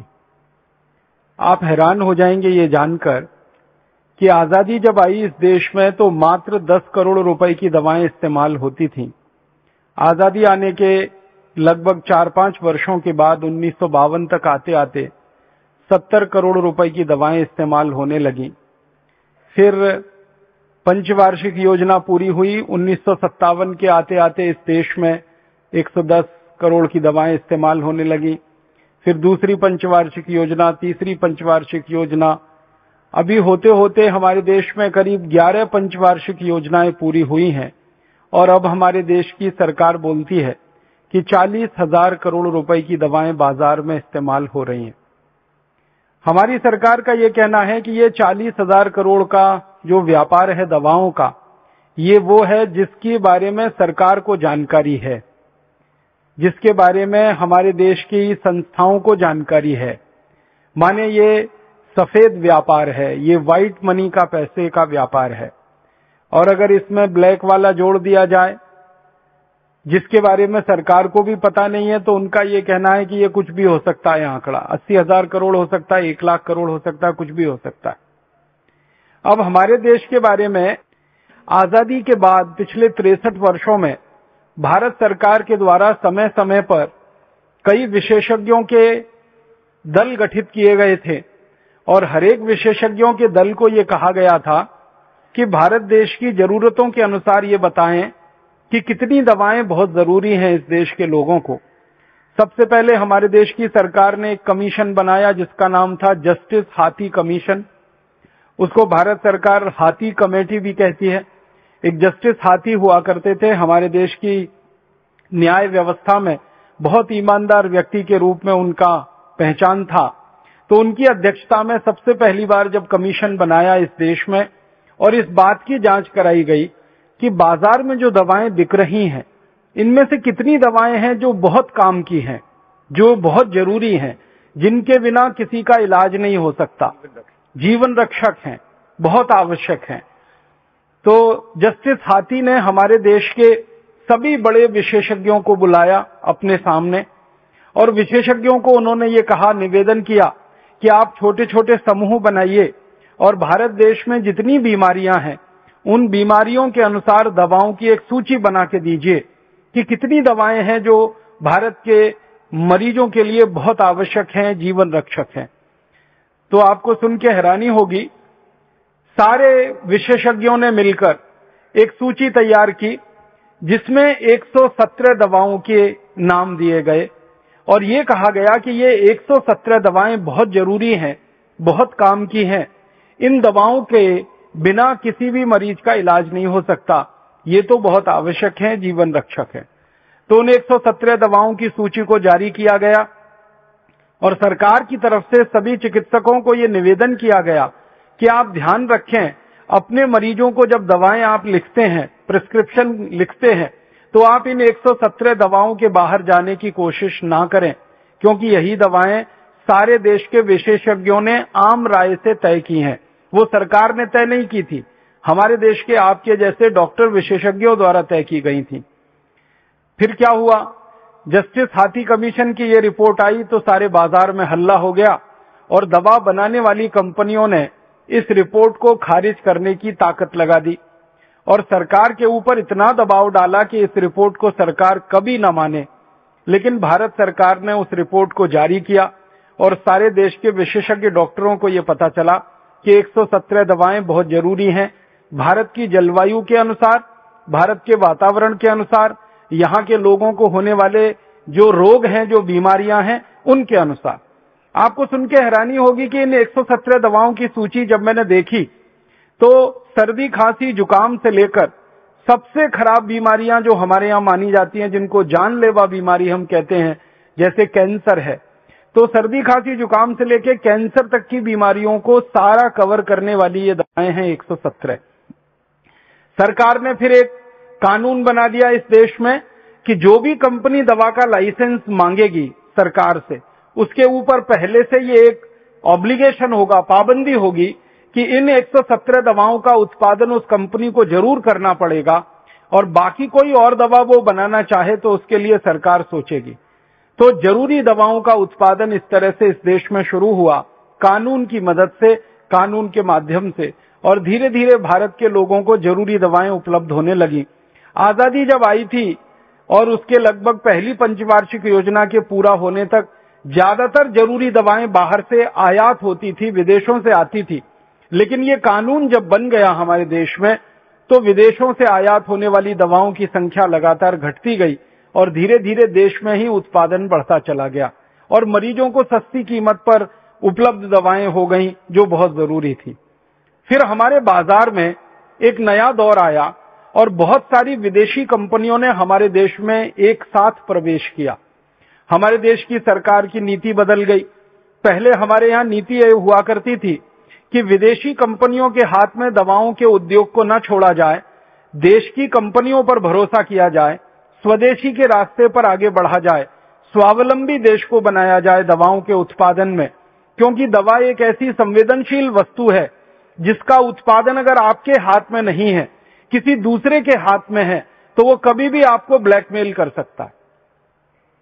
मान लीजिए देश में कोई महामारी फैल गई, प्लेग फैल गया अब आप कल्पना करिए कि प्लेग में काम आने वाली दवाएँ अगर किसी विदेशी कंपनी के हाथ में है, सारा उत्पादन किसी विदेशी कंपनी के एकाधिकार में है, या विदेशी कंपनी पूरी तरह से आयात करके उस दवा को लाती है तो महामारी के समय में वो कंपनी सरकार के साथ बोलेगी कि भाई ये सौ रुपए की दवा है, हम तो इसको हज़ार में बेचेंगे, दस हज़ार में बेचेंगे, आपकी मर्ज़ी है तो लीजिए, नहीं है तो नहीं लीजिए तो सरकार के हाथ पैर फूल जाएँगे। ऐसी स्थिति में आप क्या करेंगे? क्योंकि दवा के व्यापार पर और उसके मूल्य पर पूरा नियंत्रण सरकार का अगर नहीं है और किसी विदेशी कंपनी के हाथ में कोई एक मोनोपोली आइटम आ गया, जिसको वो कंपनी पूरी तरह से मुनाफेखोरी में बदल देगी तो आपके लोग तो मर जाएँगे बिना दवा के। बहुत महँगी दवाएँ हो जाएँगी। और विदेशी कंपनियाँ अक्सर ऐसे समय का इंतज़ार करती रहती हैं कि कब कोई बड़ी महामारी फैले।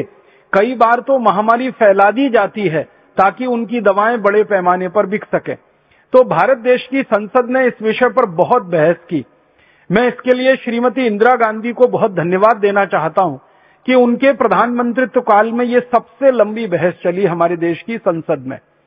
श्रीमती गांधी जब देश की प्रधानमंत्री बनी तो उनका पहला लक्ष्य ये था कि गरीब लोगों को सस्ती दवाएँ जीवन रक्षक दवाएँ, आवश्यक दवाएँ कम से कम कीमत पर उपलब्ध होनी चाहिए। ये उनके 20 सूत्री कार्यक्रमों में से एक कार्यक्रम था। और उन्होंने इसके लिए पूरी ताकत लगाई और पूरी ईमानदारी से काम किया और उसका परिणाम निकला कि भारत दवाओं के उत्पादन में 1970 तक आते आते आत्मनिर्भर हो गया। पहले जहाँ हम विदेशों से आयात करते थे अधिकतर दवाएँ, फिर यहीं बनने लगी सारी दवाएँ। बाद में क्या हुआ उन्नीस सौ से हमारे देश की सरकार ने नीति में बदलाव किया और ऐसा बदलाव कर दिया कि विदेशी कंपनियाँ ज़्यादा से ज़्यादा व्यापार कर सकें, बाहर से आ सकें और दवा के क्षेत्र को भी विदेशी कंपनियों के लिए बड़े पैमाने पर खोल दिया गया। नतीजा ऐसा खराब निकला कि भारत के बाज़ार में दवाओं की बाढ़ आ गई। जैसे जैसे कंपनियाँ बढ़ी वैसे वैसे दवाएँ बढ़ी। पहले विदेशी कंपनियाँ बहुत नियंत्रित थी फिर उन पर नियंत्रण खत्म हुआ। अंधाधुंध विदेशी कंपनियाँ बाज़ार में आई और उन्होंने बाज़ार में ऐसी ऐसी दवाएँ लाके डालना शुरू किया, जिनकी कोई ज़रूरत नहीं दूर दूर तक। जो बेकार की हैं गैर ज़रूरी हैं, जिनको आप इरेशनल कह सकते हैं इरेलीवेंट कह सकते हैं, ऐसी दवाओं का पूरा बाज़ार भर गया। अभी भारत सरकार के आंकड़ों के अनुसार मैं आपसे बात कर रहा हूँ। हमारे देश की सरकार का ये कहना है कि बाज़ार में चौरासी हज़ार फॉर्मुलेशन हैं जो बिक रहे हैं। और हाथी कमेटी की रिपोर्ट के अनुसार मात्र 117 दवाएँ हैं जो बहुत ज़रूरी हैं और आवश्यक हैं जीवन को बचाने के लिए। 117 दवाएँ ज़रूरी हैं, आवश्यक हैं जीवन को बचाने के लिए। और बाज़ार में चौरासी हज़ार फॉर्मुलेशन बिक रहे हों तो किसी भी डॉक्टर को यह चुनाव करना बहुत मुश्किल हो जाता है। कि क्या ज़रूरी है और क्या गैर ज़रूरी है। हाथी कमीशन की रिपोर्ट में वर्ल्ड हेल्थ ऑर्गेनाइजेशन ने एक संशोधन किया। डब्ल्यूएचओ के विशेषज्ञों की एक टीम भारत आई थी और भारत सरकार के साथ उनका लंबा वार्तालाप हुआ। तो डब्ल्यूएचओ के विशेषज्ञों का यह कहना था कि ये जस्टिस हाथी कमीशन की रिपोर्ट काफ़ी पुरानी है। अब तो समय के अनुसार कुछ नई बीमारियाँ आ गई हैं। तो उन नई बीमारियों के अनुसार दवाओं की संख्या बढ़नी चाहिए। तो भारत सरकार ने डब्ल्यूएचओ के विशेषज्ञों को कहा कि आप अच्छा बना दीजिए, एक दूसरी सूची बना दीजिए, जो भारत की आज की ज़रूरत के अनुसार से बहुत आवश्यक दवाओं की सूची हो, जो जीवन आवश्यक दवाओं की सूची हो। तो वर्ल्ड हेल्थ ऑर्गेनाइजेशन के विशेषज्ञों ने एक दूसरी सूची तैयार की। इस दूसरी सूची में उन्होंने जस्टिस हाथी कमीशन वाली पहली सूची को शामिल किया, जिसमें 117 दवाएँ हैं। उसके बाद कुछ अतिरिक्त दवाओं को जोड़ दिया। तो अब भारत देश में जीवन आवश्यक दवाओं की सूची बढ़कर साढ़े चार सौ हो गई है। माने भारत की बीमारियों के लिए, भारत के मरीजों के लिए, भारत की आबो हवा और जलवायु को ध्यान में रखते हुए कुल दवाओं की जो ज़रूरत है हमें वो साढ़े चार सौ मात्र है। माने साढ़े चार सौ दवाओं में सर्दी खांसी जुकाम से लेकर अब कैंसर तक की सब बीमारियों का इलाज हो सकता है। और डब्ल्यूएचओ के विशेषज्ञों का यह कहना है कि लगभग डेढ़ सौ बीमारियाँ भारत में प्रमुखता से पाई जाती हैं। उत्तर, दक्षिण पूर्व पश्चिम भारत के सभी इलाकों में। इनमें महामारियों को शामिल नहीं किया गया है। एपिडेमिक्स इसमें नहीं है। तो वो कहते हैं कि पूरे भारत में उत्तर, दक्षिण, पूरब, पश्चिम लगभग डेढ़ बीमारियाँ हैं। और इनमें कैंसर जैसी भी गंभीर बीमारियाँ हैं, सर्दी, खांसी, जुकाम जैसी साधारण हैं। इन सबका कुल मिलाकर इलाज करने के लिए 450 से ज़्यादा दवाओं की बिल्कुल ज़रूरत नहीं है। तो डब्ल्यूएचओ की एक रिपोर्ट है, वो ये कहती है कि साढ़े चार सौ दवाएँ चाहिए। भारत देश में जस्टिस हाथी कमीशन की रिपोर्ट है, वो कहते हैं 117 दवाएँ काफ़ी हैं। अगर हम डब्ल्यूएचओ की रिपोर्ट को अधिकतम मान के बात करें तो साढ़े चार सौ दवाओं से ज़्यादा इस देश को अब ज़रूरत नहीं है। अब इस देश में चौरासी हज़ार फॉर्मुलेशन क्यों बिकने चाहिए फिर? लेकिन ये बिक रहे हैं। वास्तविकता यही है सच्चाई यही है। जब सरकार के विशेषज्ञों के सामने हमारे जैसे लोग बात करते हैं कि आपकी रिपोर्ट कहती है साढ़े चार सौ से ज़्यादा दवाएँ नहीं होनी चाहिए, फिर बाज़ार में चौरासी हज़ार दवाएँ क्यों हैं? तो ज़्यादातर सरकारी अधिकारी और विशेषज्ञ दबे ज़ुबान में एक बात कहते हैं कि देखिए, भारत में कुछ भी हो सकता है। यहाँ भ्रष्टाचार, करप्शन इतने बड़े पैमाने पर है कि किसी भी कंपनी को कुछ भी दवाएँ बेचने का, कुछ भी दवाएँ बनाने का बहुत आसानी से लाइसेंस मिल सकता है। और विदेशी कंपनियों को तो और जल्दी मिल सकता है। क्योंकि हमारी सरकार ऐसा मानती है कि विदेशी कंपनियाँ जब आती हैं तो वो सब अच्छा ही अच्छा करती हैं, खराब कुछ करती ही नहीं है। इसलिए विदेशियों को तो कोई भी लाइसेंस बड़ी आसानी से मिल जाता है। तो एक एक दवा कंपनी को हज़ारों दवाओं के लाइसेंस मिले हुए हैं। उस चक्कर में चौरासी हज़ार फॉर्मुलेशन बाज़ार में बिक रहे हैं और हज़ारों करोड़ रुपए हमारे लोगों की जेब से निकालकर ये कंपनियाँ अपने अपने देशों में ले जा रही ध्यान इस बात का दें कि मात्र साढ़े चार सौ की ज़रूरत है और चौरासी हज़ार फॉर्मुलेशन बाज़ार में है। तो कितने बड़े पैमाने पर गैर ज़रूरी दवाएँ इरेशनल दवाएँ इरेलीवेंट दवाएँ बाज़ार में उपलब्ध हैं और मरीज़ उनको खाने के लिए मजबूर हैं। अब ये जो सारा खेल चल रहा है, इस खेल में एक बहुत बड़ी कड़ी हज़ारों लाखों चिकित्सक हैं। और वो कड़ी क्या है? ये सारी दवाएँ जो बिक पाती हैं बाज़ार में, उसमें चिकित्सकों की बहुत बड़ी मदद लगती है। अगर चिकित्सक के प्रेस्क्रिप्शन में दवाएँ नहीं लिखी जाएँ तो आसानी से वो बिक नहीं सकती हैं। तो इन कंपनियों को दवाओं के बिज़नेस में हज़ारों लाखों प्रतिशत का मुनाफा कमाना होता है। आप सुन के हैरान हो जाएँगे किसी भी व्यापार में हज़ारों प्रतिशत के मुनाफे नहीं होते। अगर आप सोने का व्यापार करें तो सोने के व्यापार में मुनाफे के प्रतिशत 10, 15, 20 से लेकर 50, 60 प्रतिशत तक बहुत अधिक तो 100 प्रतिशत तक। चांदी का व्यापार करें प्लेटिनम का व्यापार करें कोयले का व्यापार करें लोहे का व्यापार करें स्टील का व्यापार करें हवाई जहाज़ बनाने के उद्योग में लगने वाले जो अन्य पदार्थ हैं मेटल हैं उनका व्यापार करें। किसी भी व्यापार में 10, 20, 50 प्रतिशत से लेकर 100, 200 प्रतिशत के मुनाफे होते हैं। लेकिन ये दवाओं का व्यापार इसमें मुनाफे 10, 20, 50 प्रतिशत में नहीं होते 20, 20 हज़ार प्रतिशत में होते। दुनिया में दवाओं के व्यापार पर सबसे बड़ा कब्जा रखने वाली जो अमेरिका की और यूरोप की बड़ी कंपनियाँ हैं जैसे मैं नाम लेके कहूँ एक फाइजर नाम की कंपनी है एक रोश नाम की कंपनी है वरो बेलकम नाम की कंपनी है ग्लेक्सको स्मिथ लाइन बीचम नाम की कंपनी है ऐसी सौ बड़ी कंपनियाँ दुनिया की, जिनकी सूची हर साल जारी की जाती है दुनिया भर में, ऐसी सौ दवा कंपनियों की मैं बैलेंस शीट देख देख के कुछ हिसाब निकाला तो पता चला कि किसी भी दवा कंपनी का मुनाफा बीस हज़ार प्रतिशत से तो कम नहीं है। बीस बीस हज़ार प्रतिशत के मुनाफे। जो मूल दवा होती है, जिसको आप बेसिक ड्रग कहते हैं, वो बहुत सस्ती होती है। जब उसके फॉर्मुलेशन तैयार होकर बाज़ार में आते हैं तो बीस हज़ार प्रतिशत मुनाफा तो बहुत सामान्य बात है उस पर वो बिक जाते मूल दवा हो सकता है सौ रुपए किलो की हो मूल दवा हो सकता है 200, 250, 300 रुपए किलो की हो लेकिन उससे तैयार फॉर्मुलेशन की एक एक टैबलेट बाज़ार में 20-25 रुपए से लेके 200, 500, हज़ार रुपए तक बिक जाएगी। इतना बड़ा धंधे का मुनाफा माने इतने बड़े मुनाफे का ये धंधा है दवाओं का। और इस मुनाफे के धंधे में उत्पादक कंपनियों को जब बीस बीस हज़ार प्रतिशत का लाभ है तो वो उस लाभ का फिर बंटवारा करते हैं और वो बंटवारा ऊपर से नीचे तक होता है। केमिस्ट और ड्रगिस्ट को वो बंटवारा जाता है। फिर जो प्रिस्क्रिप्शन लिखने वाले चिकित्सक हैं, उनके पास भी कुछ हिस्सा पहुँचता रहता है, ताकि आप उनकी दवाएँ लिखते रहें, ताकि उनको वो सब दवाएँ बेचकर मुनाफा होता रहे। और इस तरह से ये सारा रैकेट तैयार हो जाता है। अब इस पूरे रैकेट में जो पिस रहा है, वो साधारण आदमी है, गरीब आदमी है। भारत जैसे देश के बारे में तो विशेष बात है कि हमारा भारत देश इस समय 115 करोड़ लोगों का देश है। 115 करोड़ लोगों में चौरासी करोड़ लोगों की आमदनी एक दिन में 20 रुपए से कम है। जिस देश में चौरासी करोड़ लोग 20 रुपए से कम की आमदनी एक दिन में कर पाते हो, वहाँ के लोगों को दवाएँ बेचना और वो भी महँगी दवाएँ बेचना, ये किसी भी बड़े अपराध से कम नहीं। यहाँ की तो व्यवस्था ऐसी होनी चाहिए कि सस्ती से सस्ती दवाएँ कम से कम लागत पर, कम से कम मुनाफे पर लोगों के लिए उपलब्ध हों। लेकिन अभी बिल्कुल उल्टा हो गया है। महँगी से महँगी दवाएँ ज़्यादा से ज़्यादा मुनाफे पर हमारे देश के लोगों के लिए उपलब्ध हैं।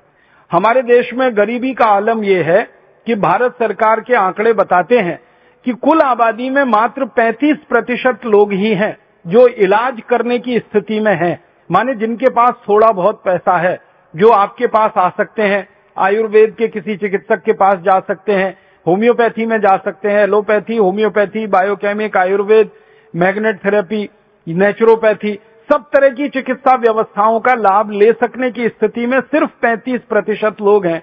पैंसठ प्रतिशत लोग तो अभी भी अपनी बीमारी की स्थिति में किसी ओझा के पास जाते हैं, कोई झाड़ फूक करने वाले के पास जाते हैं, और आप जानते हैं उसका दुष्परिणाम क्या होता है।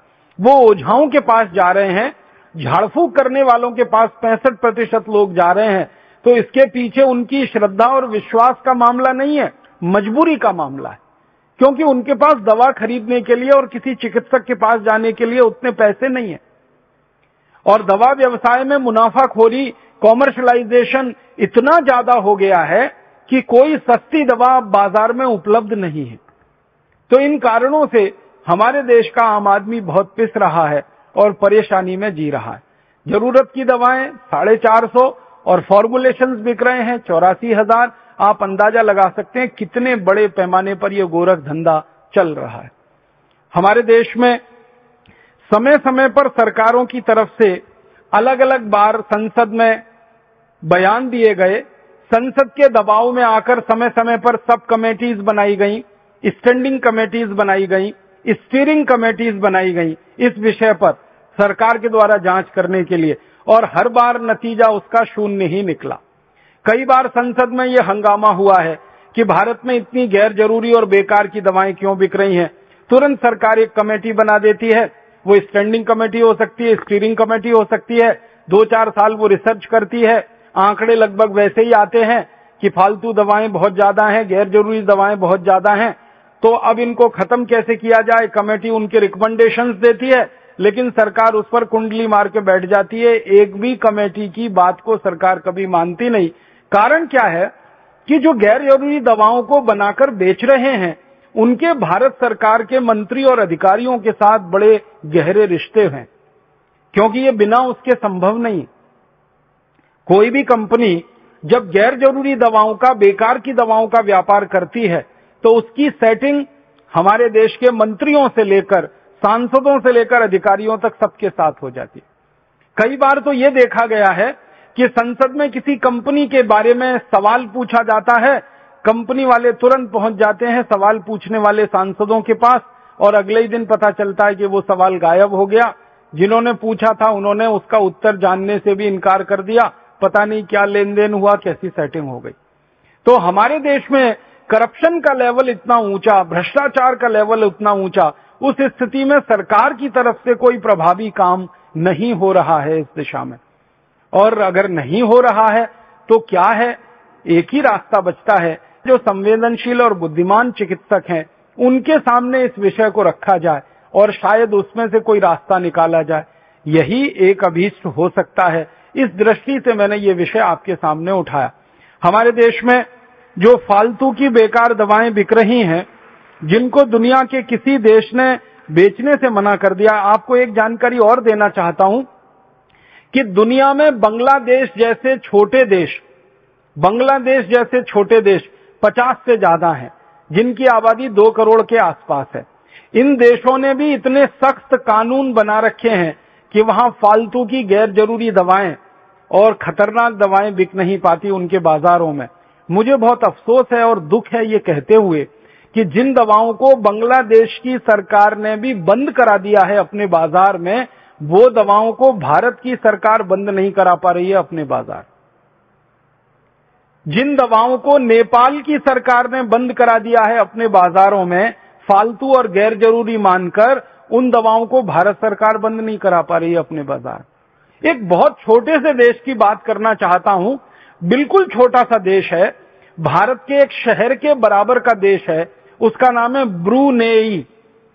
वहाँ पे प्रजातंत्र नहीं है, राजाशाही है। दुनिया में अभी भी कई देश हैं जहाँ पर राजा होता है। ब्रूनेई नाम का एक छोटा सा देश है। वहाँ राजाशाही चलती है।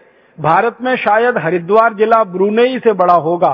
तो ब्रूनेई जैसे देश ने अपने नागरिकों के लिए कानून इतना सख्त बना रखा है कि वहाँ कोई भी कंपनी गैर ज़रूरी दवा नहीं बेच सकती, फालतू दवा नहीं बेच सकती, खतरनाक दवा नहीं बेच सकती। तो जो दवाएँ ब्रुनेई में बंद हैं, नेपाल में बंद हैं, बांग्लादेश में बंद हैं ट्रिनीडॉट टोबैगो में बंद हैं, अफ्रीका के कई देशों में बंद हैं, लैटिन अमेरिका के देशों में बंद हैं, यूरोप और अमेरिका में तो बहुत सालों से बंद हैं, वो दवाएँ भारत में धड़ल्ले से बिक रही हैं।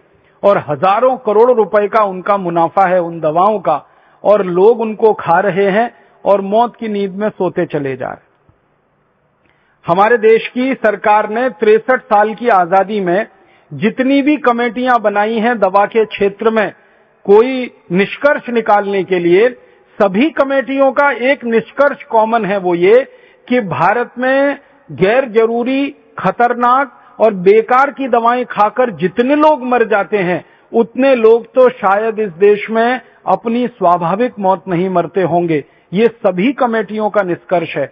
और हर कमेटी ने भारत सरकार से एक ही बात कही है कि जल्दी से जल्दी सरकार इनके ऊपर पाबंदी लगाए, क्योंकि लोग जितने ज़्यादा बीमारियों से मर रहे हैं, शायद उससे भी ज़्यादा गैर ज़रूरी और खतरनाक दवाएँ खाकर मर रहे हैं। ये भारत की स्थिति हर कमेटी ने अपने निष्कर्ष में व्यक्त की है, लेकिन दुर्भाग्य हमारी सरकार का और भला हमारे देश में इस भ्रष्टाचारी व्यवस्था का कि किसी भी कमेटी की इस बात को माना नहीं गया। मैं कुछ दवाओं के नाम आपको सुनाना चाहता हूँ, जिनको दुनिया भर की सरकारों ने बंद कर रखा है।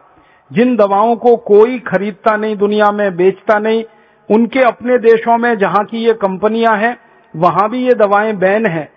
और एक दो साल से नहीं बीस बीस साल से बैन है, तीस साल से, चालीस साल से बंद है। वो दवाएँ भारत में धड़ल्ले से बिक रही हैं। हज़ारों, लाखों करोड़ों रुपए का व्यापार चल रहा है। कुछ नाम सुनाता हूँ आपको।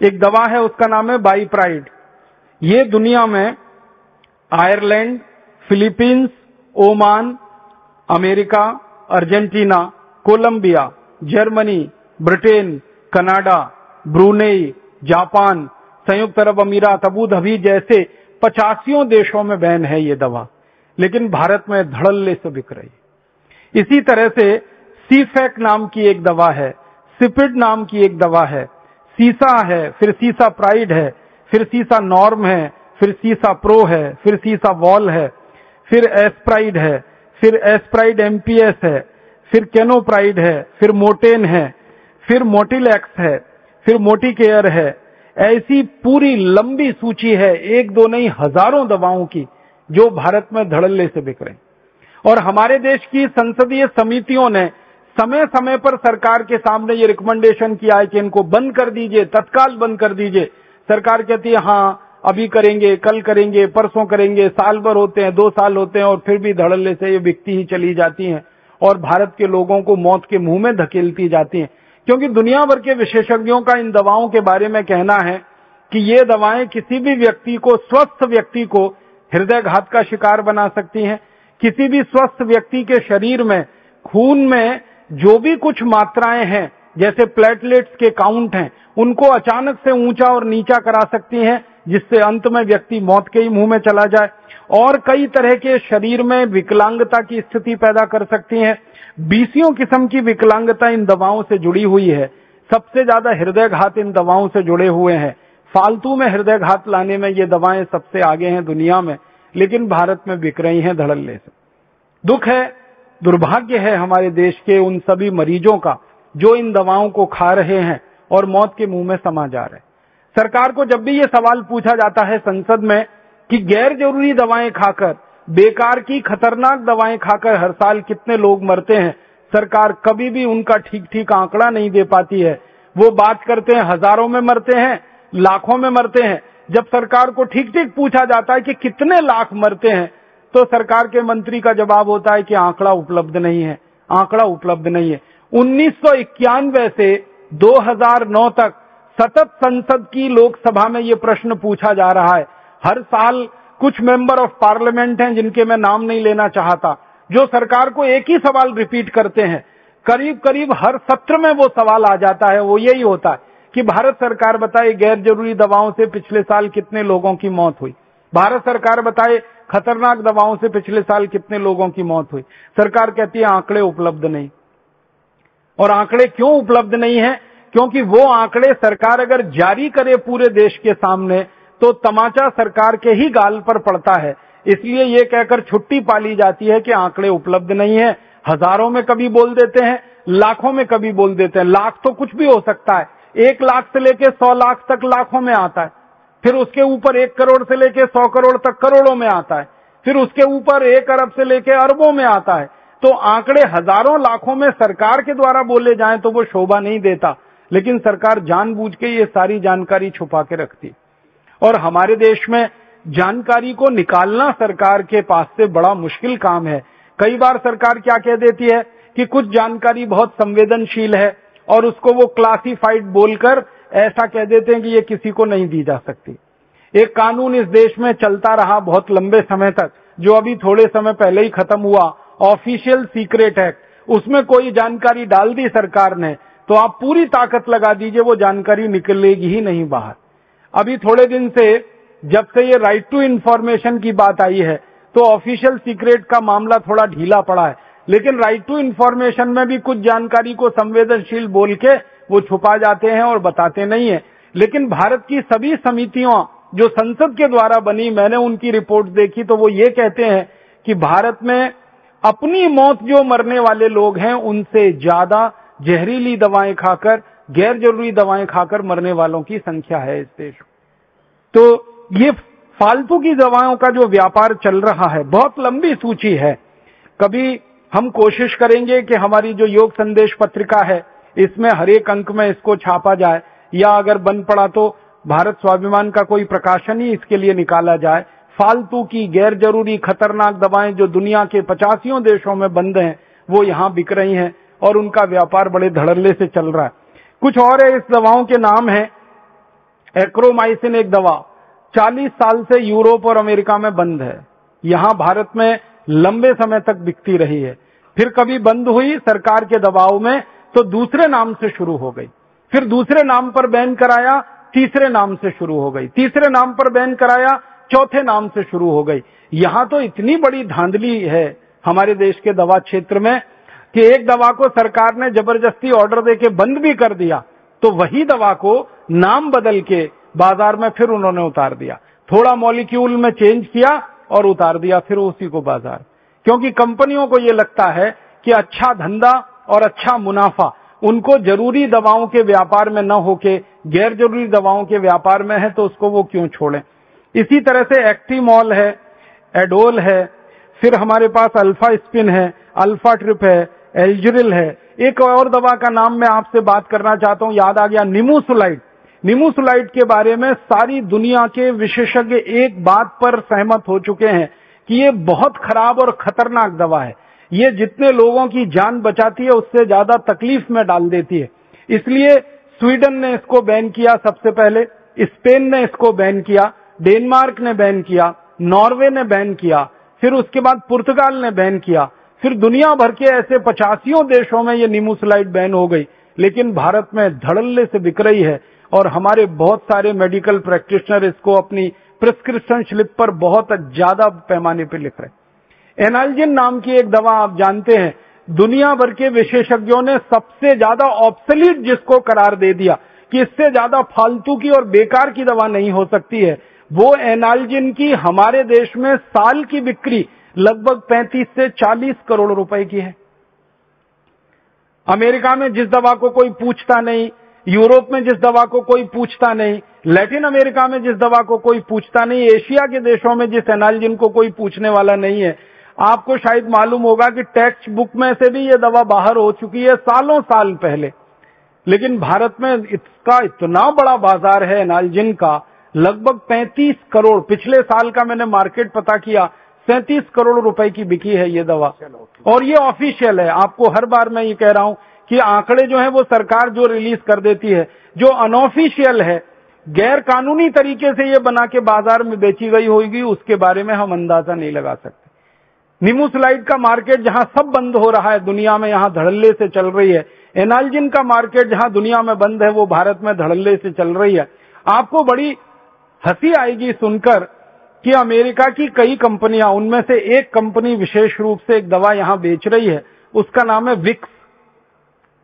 भारत में एक छोटा सा सर्वे किया था हम लोगों ने, और वो सर्वे ये किया था कि किसी भी केमिस्ट के काउंटर पर बिना डॉक्टर के प्रिस्क्रिप्शन के सबसे ज़्यादा बिकने वाली दवाएँ कौन सी हैं? इसका एक छोटा सा सर्वेक्षण किया था। हम लोगों ने एक टीम बना के काम किया था। पता चला कि बिना डॉक्टरी प्रिस्क्रिप्शन के किसी भी केमिस्ट की दुकान से सबसे ज़्यादा जो एक ब्रांड नेम बिक रहा है, वो यही है विक्स। गले की खिचखिच, विक्स की गोली। सर्दी खांसी जुकाम, विक्स ले लो। इसमें तो विक्स ले लो, उसमें तो विक्स ले लो। ऐसा धड़ाधड़ विज्ञापन ये करते हैं और सारे देश के लोगों का दिमाग ऐसे बनाया हुआ है कि सर्दी खांसी जुकाम, सीधे विक्स में जाओ और गले की खिचखिच हो जाए तो विक्स खाओ तो इसके लिए विक्स लगाओ तो उसके लिए विक्स लगाओ। अकेला एक ब्रांड नेम सबसे ज़्यादा बिक रहा है। फिर मैंने और हमारी टीम ने ये जानने की कोशिश की कि अच्छा पता लगाओ, ये जो विक्स का ब्रांड नेम है, जिसको एक अमेरिकन कंपनी भारत में बेच रही है, उस कंपनी का नाम है प्रॉक्टर एंड गैम्बल। ये कंपनी अपने देश में बेच रही है क्या इसको? और यूरोप के देशों में बेच रही है क्या? क्योंकि प्रॉक्टर एंड गैम्बल का मार्केट तो दुनिया भर के देशों में है, छप्पन देशों में व्यापार करती है। पता चला कि अमेरिका में नहीं बिकता ये, यूरोप में नहीं है, फ्रांस में नहीं, जर्मनी में नहीं, स्वीडन में नहीं, स्विट्जरलैंड में नहीं, डेनमार्क में नहीं, नॉर्वे में नहीं, आयरलैंड में नहीं, स्कॉटलैंड में नहीं, इंग्लैंड में नहीं, किसी भी देश में जो नहीं है उनका ब्रांड वो भारत में सबसे ज़्यादा मुनाफा देने वाला उनका ब्रांड है। प्रॉक्टर एंड गैम्बल के एक अधिकारी को मैंने पूछा था कि आपके जितने भी ब्रांड हैं भारत में सबसे ज़्यादा मुनाफा कौन देता है? तो उन्होंने कहा बाकी तो घाटा देते हैं, मुनाफा तो खाली विक्स देता है। बाकी तो घाटा देते हैं, मुनाफा तो विक्स देता है तो बाकी का घाटा विक्स के मुनाफे से वो पूरा कर लेते हैं। और इतने धड़ल्ले से सारे देश में ये बिक रहा है। इसी तरह की बहुत सारी दवाएँ हैं बाज़ार में, जिनको हमारे देश में टेलीविज़न के विज्ञापनों के माध्यम से, रेडियो के विज्ञापनों के माध्यम से, अखबारों के विज्ञापनों के माध्यम से ये कंपनियाँ बेच लेती आप जानेंगे कि दुनिया भर के देशों में ये कानून है कि दवाओं का विज्ञापन आप नहीं कर सकते, न टेलीविज़न पे, न अखबारों में, न पत्रिकाओं में। लेकिन भारत में धड़ल्ले से टेलीविज़न पे भी विज्ञापन है, पत्रिकाओं में भी है, अखबारों में भी है, रेडियो पर भी है। और कानून है, उसके बावजूद ये है। आपको सुनकर हैरानी होगी कि कानून है, उसके बावजूद ये है। कई देशों में कानून थोड़े सख्ती से लागू होते हैं। सिंगापुर जैसा छोटा सा देश है, हमारे पड़ोस में है। कानून वहाँ भी है, कानून भारत में भी है। लेकिन सिंगापुर में मजाल क्या को कोई कंपनी टेलीविज़न पे अपना विज्ञापन कर दे किसी दवा का, और वो वहाँ मार्केट में रह पाए। सवाल ही नहीं उठता। छोटा सा देश है, इतनी सख्ती से इस कानून को लागू करता है। लेकिन हमारा इतना बड़ा देश, इतना बड़ा लोकतंत्र, इतनी बड़ी सरकार, इतनी बड़ी फौज हमारे एडमिनिस्ट्रेशन की, पुलिस की इसको लागू ही नहीं करा पाती। तो ऐसी बहुत सारी दवाएँ हज़ारों की संख्या में, फालतू में बाज़ार में बेची जा रही हैं। तो आप बोलेंगे, हम क्या कर सकते हैं? आपकी बहुत बड़ी भूमिका मैं इस काम में देखता हूँ। और वो भूमिका ये है कि आप एक संवेदनशील चिकित्सक होने के नाते, एक बुद्धिमान चिकित्सक होने के नाते, अपने जीवन में एक संकल्प छोटा सा कर लीजिए कि मैं मेरे प्रिस्क्रिप्शन स्लिप पर किसी भी मरीज़ को फालतू की एक दवा भी नहीं लिखूँगा और ऐसी कोई दवा नहीं लिखूँगा, जो भारत के मरीज़ के लिए ज़रूरी नहीं है, लेकिन कंपनी के मुनाफे के लिए बाज़ार में। अगर आप इतना सा एक छोटा काम कर देंगे तो इस भारत देश के लोगों का हज़ारों करोड़ रुपए बच जाएगा। लोगों का तो बच जाएगा, वो भारत देश के लोगों की ज़िंदगी भी बचाए, उनका जीवन बचाएगा। तो आप अगर अपने मन में एक संकल्प ले लेते हैं, ये बहुत पवित्र संकल्प होगा जो आपके सम्मान को बढ़ाएगा, कम नहीं करेगा। आपके सम्मान को मरीजों के दिल में बहुत गहरा स्थान देगा। आप उनके दिल में हमेशा के लिए बैठ जाएँगे। अगर एक छोटा सा काम आप कर ले। मैं आपको एक उदाहरण देके इस बात को कहूँगा। स्वीडन नाम का एक छोटा सा देश है। स्वीडन नाम के देश में 1980 के दशक में थोड़े से कानून में ढीलापन आ गया और विदेशी कंपनियों ने मार्केट को भर दिया वहाँ। स्वीडन के बाज़ार में अंधाधुंध गैर ज़रूरी दवाएँ, फालतू की दवाएँ बाज़ार में आ गई। जिन दवाओं से लोगों की मौत हो रही थी, ऐसी दवाएँ धड़ल्ले से बिकने लगी। एक दवा है, उसका नाम है क्विलोक्विनॉल। ये जो है, सबसे ज़्यादा 1980 के दशक में स्वीडन और आसपास के देशों में बेची जा रही थी और एक बहुत बड़ी विदेशी कंपनी इस दवा के धंधे में लगी हुई थी। स्वीडन में एक बहुत संवेदनशील चिकित्सक ने झंडा उठाया। बहुत संवेदनशील चिकित्सक। उन्होंने एक झंडा उठाया। उनका नाम था डॉक्टर ओले। उन्होंने कहा कि हमारे देश के बाज़ार में स्वीडन तो बहुत छोटा सा देश है, कोई बहुत बड़ा देश नहीं है, आबादी बहुत कम है, भारत के एक ज़िले से भी छोटा है। लेकिन वहाँ के एक संवेदनशील चिकित्सक जिनका नाम था डॉक्टर ओले, उन्होंने ये झंडा उठाया कि मेरे देश के लोगों को ये फालतू की दवाएँ खानी पड़े। लीवर खराब हो उनका, किडनी खराब हो जाए, मौत के मुँह में चले जाए लाखों करोड़ों रुपया स्वीडन से विदेशों में हस्तांतरित हो जाए, ये तो नहीं चलने दूँगा। तो उस एक चिकित्सक ने स्वीडन के चिकित्सकों को समझाना शुरू किया। धीरे धीरे एक संगठन बना। उस संगठन में तीन हज़ार डॉक्टर शामिल हो गए।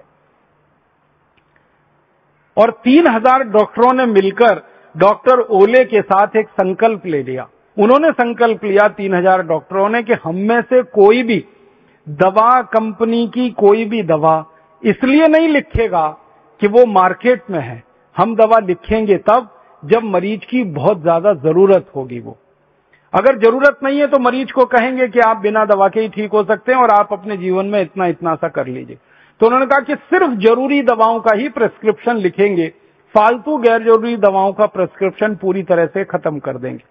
और उन्होंने क्विलोकिनोल से शुरुआत की। आप जानते हैं क्विलोकिनोल के जैसी नजदीकी एक दवा है मैक्सोफॉर्म और एक है एंट्रोबायोफॉर्म। तो मैक्साफॉर्म, एंट्रोबायोफॉर्म क्विलोकिनोल उन्होंने एक लिस्ट बनाई और तीन हज़ार डॉक्टरों के सभी क्लिनिक में वो लिस्ट चिपका दी गई। और सभी डॉक्टरों को कहा गया कि प्रिस्क्रिप्शन लिखते समय इस लिस्ट को ध्यान में रखें। परिणाम ये हुआ 1980 में ये आंदोलन शुरू हुआ। उन्नीस सौ चौरासी तक आते आते स्वीडन के बाज़ार से सारी गैर ज़रूरी दवाएँ बिकना बंद हो एक चिकित्सक ने हिम्मत दिखाई, उसने अपने सहयोगी चिकित्सकों को तैयार किया, उनकी सेंसिटिविटी को थोड़ा और बढ़ाया, ज़्यादा सेंसिटाइज किया। इंटेलिजेंसी तो सभी चिकित्सकों में होती है, सेंसिटिविटी बढ़ने की बात है, संवेदनशीलता उनकी बढ़ती गई बढ़ती गई, और एक दिन आकर उन्होंने संकल्प ले लिया। फिर उनका दूसरा संकल्प ये था कि हम तीन हज़ार डॉक्टरों का ये जो संगठन है इस संगठन में आगे भी दूसरों को शामिल करते रहेंगे, अगर वो हमारे इस विचार पर चलेंगे। धीरे धीरे संख्या बढ़ती गई। फिर ये आंदोलन स्वीडन से निकल के डेनमार्क में चला गया।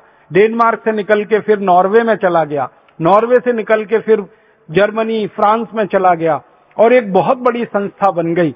अब वो संस्था वहाँ काम करती है। उनका नाम है डॉक्टर्स विदाउट फ्रंटियर। और वो मिलके पूरे के पूरे यूरोप के ये नॉर्दिक कंट्रीज़ जो कहे जाते हैं, इनमें एक ही अभियान चला रहे हैं और उसमें पूरे सफल हैं कि एक भी फालतू की गैर ज़रूरी दवा और खतरनाक दवा उनके बाज़ार में बिक नहीं सकती, क्योंकि उसका वो प्रिस्क्रिप्शन करते नहीं है। सारी दवा कंपनियाँ उन डॉक्टरों को लालच दे के परेशान हो चुकी हैं, बहला फुसला के परेशान हो चुकी हैं, लेकिन वो डॉक्टर झुकते नहीं है। उनकी इज़्ज़त, उनका सम्मान वहाँ के मरीजों में दिन प्रतिदिन बढ़ा है। और एक अच्छी बात बताऊँ कि ये सारे डॉक्टरों की जो प्रैक्टिस है, उसके बारे में जब उनसे पूछा गया अनेक अनेक बार कि आपकी प्रैक्टिस का क्या हुआ, आपने जब ये फालतू गैर ज़रूरी दवाएँ लिखना कम किया तो कंपनियों ने आपको पैसे देना, कमीशन देना बंद किया, वो तो आपकी कमाई कम हो गई। तो सभी डॉक्टर कहते हैं पहले से ज़्यादा बढ़ गई। क्यों? तो वो कहते हैं कि पहले जो मरीज़ हमारे ऊपर शक करते थे, आशंका करते थे, अब वो भी भरोसा करने लगे हैं। इसलिए हमारे पास अब ज़्यादा पहले से मरीज़ आने लगे। ये डॉक्टर्स लोगों के समूह में, डॉक्टर ओले का अभी तो स्वर्गवास हो गया है। उनके स्वर्गवास के पहले उनका एक लंबा इंटरव्यू आया था। उस इंटरव्यू में उनसे पूछा गया था कि जब से आपने ये अभियान शुरू किया फालतू गैर ज़रूरी दवाओं के बहिष्कार का, आपकी अपनी निजी आमंदनी के बारे में बताइए वो कहाँ पहुँची है? तो उन्होंने कहा मेरी निजी आमंदनी साढ़े तीन गुनी बढ़ गई है क्योंकि पहले मेरे पास जितने मरीज़ आते थे अब उससे कई गुने ज़्यादा मरीज़ आ रहे हैं। और मुझे अब दूसरे देशों में बुलाया जाने लगा है क्योंकि मैं इस अभियान के एक नेता के रूप में स्थापित हुआ हूँ। तो आसपास के 20, 22, 25 देशों में मेरी विज़िट होती है और वो लोग मुझे बिल्कुल भगवान के बराबर का दर्जा देते हैं कि ऐसे ईमानदार डॉक्टर की दुनिया को ज़रूरत है। मेरा आपसे एक निवेदन है कि स्वीडन में डॉक्टर ओले हो सकते हैं तो भारत में भी ऐसे सैकड़ों, हज़ारों, लाखों डॉक्टर ओले हो सकते हैं, क्योंकि हम भी वैसे ही हैं जैसे वो हैं। हमारी संवेदनशीलता भी उतनी ही है जितनी उनकी है, हमारी बुद्धिमत्ता, इंटेलिजेंसी भी उतनी है जितनी उनकी है। बस हमको एक दिशा लेकर काम में लग जाने की ज़रूरत है, बाकी तो सब पीछे पीछे चल पड़ेगा।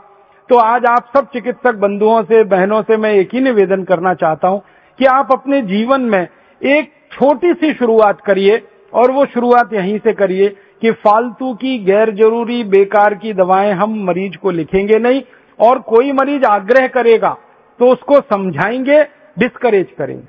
तो ये कंपनियों का इतना बड़ा जो नेटवर्क खड़ा हुआ है, हज़ारों करोड़ रुपए का जो मुनाफे का उनका चक्र चल रहा है जिसमें हज़ारों प्रतिशत के मुनाफे वो लूट रहे हैं, ये एक झटके में टूट सकता है। हमारी सरकार तो इस चक्र को तोड़ नहीं पाएगी।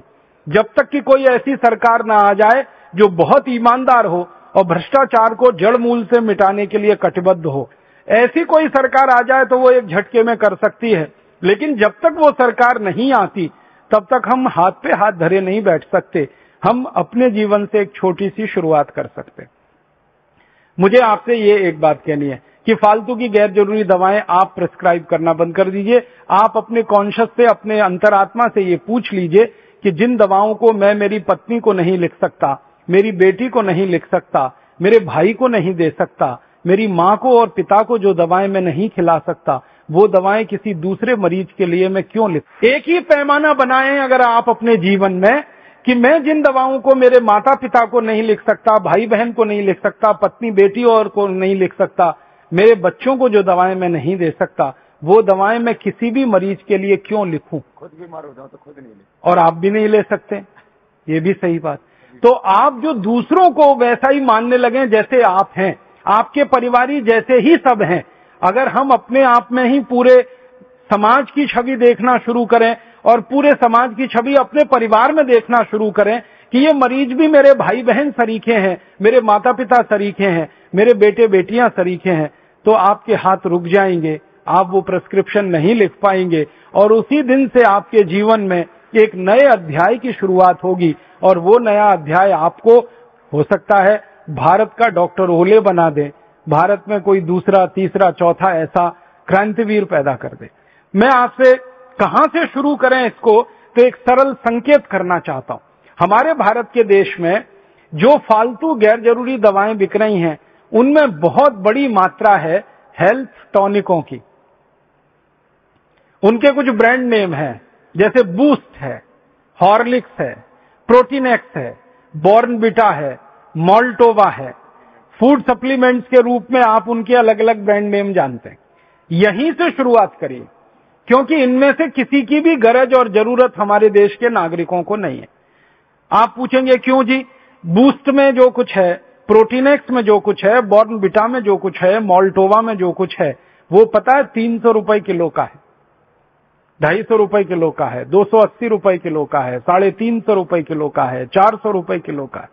अब चार सौ रुपए किलो का, साढ़े तीन सौ रुपए किलो का किसी को हेल्थ टॉनिक या फ़ूड सप्लीमेंट आप खिलवा रहे हैं या लिख रहे हैं उससे अच्छा यह है कि उसको कह दीजिए चालीस रुपए किलो की मूंगफली खा लो। मूंगफली के साथ थोड़ा कुछ मकई खा लो कुछ जौ ले लो कुछ चना खा लो। चना तो बीस रुपए किलो में उपलब्ध है मूंगफली चालीस रुपए किलो में उपलब्ध है जौ का सत्तू हिंदुस्तान में पंद्रह सत्रह रुपए किलो में उपलब्ध है। गुड़ ले लो थोड़ा सा। तो गुड़ मूंगफली खा लो गुड़ चना खा लो गुड़ जौ का सत्तू खा लो चना गुड़ मूंगफली तीनों मिला के खा लो। ये आसानी से उपलब्ध है बड़ी कीमत नहीं है इनकी बहुत सस्ती कीमत में ये सब चीज़। चीज़ें और अगर किसी की हैसियत है कि वो चार सौ रुपए किलो का हेल्थ टॉनिक खा सकता है तो उसको कह दो चार सौ रुपये किलो का बादाम ही खा लो। खतरा क्यों खा सकता दो सौ रुपए किलो का काजू खा लो। काजू नहीं है तो बादाम मुनक्का किशमिश मखाने जो भी आपको समझ में आता है आसानी से उपलब्ध है, वो खिला दो। और फालतू में बहुत सारे टॉनिक इस देश में है, जैसे एक डेक्सोरेंज नाम का टॉनिक बिक रहा है इस देश में, धड़ल्ले से बिक रहा है। खून की कमी के लिए उसका इस्तेमाल किया जा रहा है इस देश में। तो डेक्सोरेंज जो खा रहे हैं, या आप उनको कभी कह रहे हैं, या दूसरे डॉक्टरों से वो प्रिस्क्रिप्शन लिख के उसका ला रहे हैं तो उनको कहिए, भैया, खून की ही कमी खत्म करनी है तो अनार का रस पी लो। जो डेक्सोरेंज से बहुत सस्ता पड़ता है इस देश में। आंवला का रस ले लो एलोवेरा का रस ले लो, गिलोय का काढ़ा बना के पी लो, गिलोय का सत ले लो, ये सब खून की कमी को खत्म करने वाले गाजर ले लो। अमरूद में जितना आयरन है, आप जानते हैं, उतना सेब में भी नहीं। केला है, अमरूद है। भारत में तो ऐसी व्यवस्था है कि जो फल जितना सस्ता, उतना ही ज़्यादा भरपूर विटामिन से और उतना ही ज़्यादा वो पोषक तत्वों से भरपूर। सेब से ज़्यादा केले में आयरन। हाँ। केला सस्ता है अमरूद सस्ता है आंवला सस्ता है ये सब है। तो आप मरीज़ को बस थोड़ी सी दिशा बदल दो उसकी क्योंकि उसके दिमाग में भूत सवार है कि बूस्ट से ही उसके बेटे को ताकत आने वाली है। वो रोज विज्ञापन देखता है टीवी पर सचिन तेंदुलकर की शक्ति बूस्ट राहुल द्रविड़ की शक्ति बूस्ट। तो किसी और वीरेंद्र सहवाग की शक्ति बूस्ट धोनी। की शक्ति बूस्ट तो वो रोज देख रहा है टीवी पे क्योंकि क्रिकेट मैच चल रहा है तो ये विज्ञापन सबसे ज़्यादा आ रहा है। तो उसके दिमाग में बैठा हुआ है कि बेटे को तेंदुलकर ही बनाना है तो बूस्ट खा के ही संभव है। और उन्होंने बचपन में कभी नहीं खाया और मज़े की बात यह है कि ना तेंदुलकर ने कभी बूस्ट खाया ना सहवाग ने कभी बूस्ट खाया ना धोनी ने खाया न किसी दूसरे क्रिकेट खिलाड़ी ने। ये सब जो पैदा हुए वो किसान परिवार में हुए और गरीब थे और ये साधारण चीज़ें खा के ही ताकतवर बने और इनके क्रिकेट के शॉट इतने ताकतवर। है साधारण परिवारों में पैदा हाँ। इनमें से एक भी ऐसा क्रिकेट खिलाड़ी नहीं है जो चांदी की चम्मच लेके किसी करोड़पति के घर में पैदा हुआ हो जो बूथ खाने की हैसियत रखता हो। ये तो सब साधारण परिवारों के लोअर मिडिल क्लास और उससे भी नीचे वाले तबके में पैदा हुए सब क्रिकेट खिलाड़ी हैं। इनका जीवन परिचय आप उठा के देखेंगे। और पता चलेगा कि ये तो केला खा के अमरूद खा के चना खा के सत्तू खा के जौ खा के ताकतवर बने। हमारे बाहर के देशों के, खिलाड़ियों के बारे में से एक के बारे में जानकारी मुझे है बहुत पक्की और गहरी। बोरिस बेकर नाम का एक टेनिस प्लेयर, वो बहुत सारे यूरोप के और अमेरिकन कंपनियों के विज्ञापन करता रहा, हेल्थ टॉनिक के। एक बार बोरिस बेकर को पूछा गया कि आपकी जो सर्विस करते हो टेनिस में आप जानते हैं बॉल को रैकेट से मारना है तो बहुत तेज स्पीड से जाती है तो उसकी स्पीड कितनी है? तो उसने कहा 135 किलोमीटर घंटे की स्पीड है। माने भारत में राजधानी जिस गति से जाती है, उस गति से बोरिस बेकर बॉल मारता है टेनिस के रैकेट से। तो पूछा गया कि ये ताकत कहाँ से आई है? तो उसने कहा, केले में से आई है। बोरिस बेकर ने ऐसा जवाब दिया कि केले में से आई है। तो जो पूछने वाला पत्रकार था, उसने कहा, क्या बोला? उसने कहा, केले में से आई है, मैं बचपन से केला खाता हूँ। और बोरिस बेकर ने बताया कि जब भी टेनिस का मैच में खेलने के लिए जाता हूँ तो ढेर सारे केले भर के मेरे बैग में रख के लेके जाता हूँ। मैच जब चलता है टेनिस का तो आप जानते कोर्ट चेंज होता है हमेशा। एक बार इस कोर्ट से खेलेंगे, दूसरी बार। तो वो कहता है जी कोर्ट चेंज करने का समय उतने में मैं दो केले खा लेता हूँ फिर खेलता हूँ फिर दो केले खा लेता हूँ फिर खेलता हूँ फिर दो केले खा लेता हूँ। उन्होंने कहा ये ताकत तो केले में से आई है।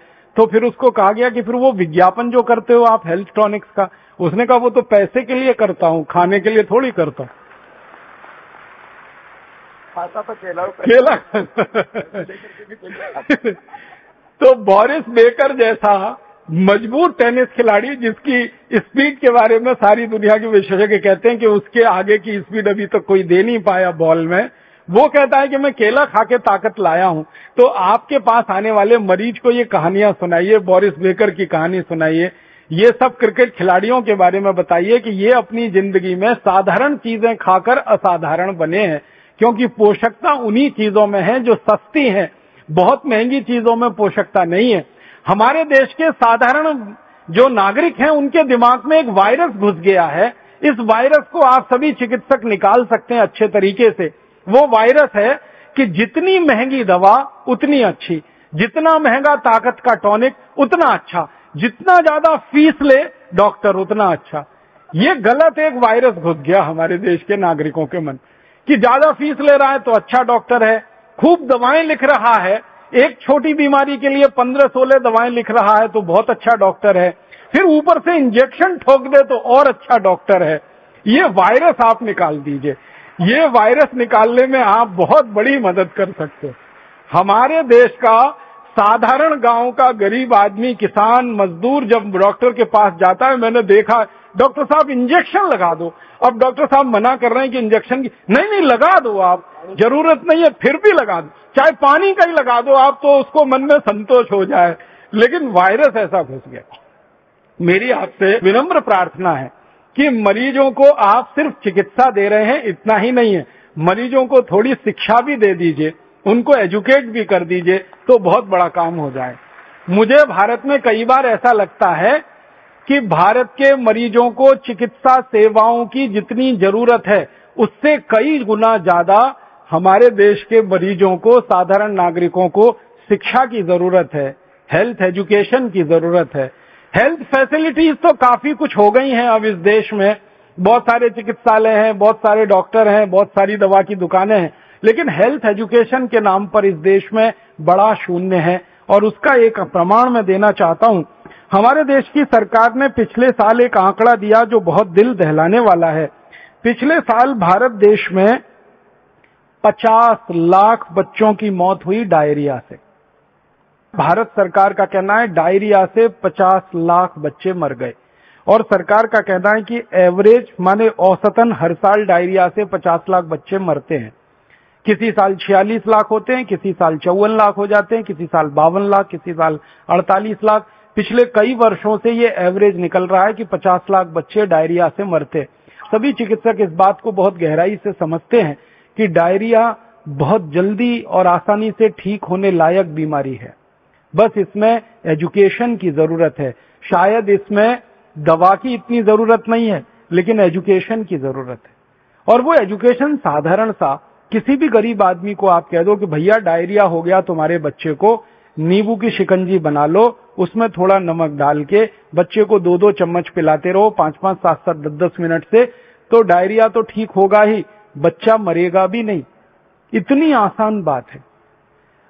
परम पूजनीय स्वामी जी एक नुस्खा बताते हैं, जिसको आप ज़रूर उपयोग करिए, कि कच्चे दूध में नींबू निचोड़कर तुरंत पिला दीजिए फटने से पहले।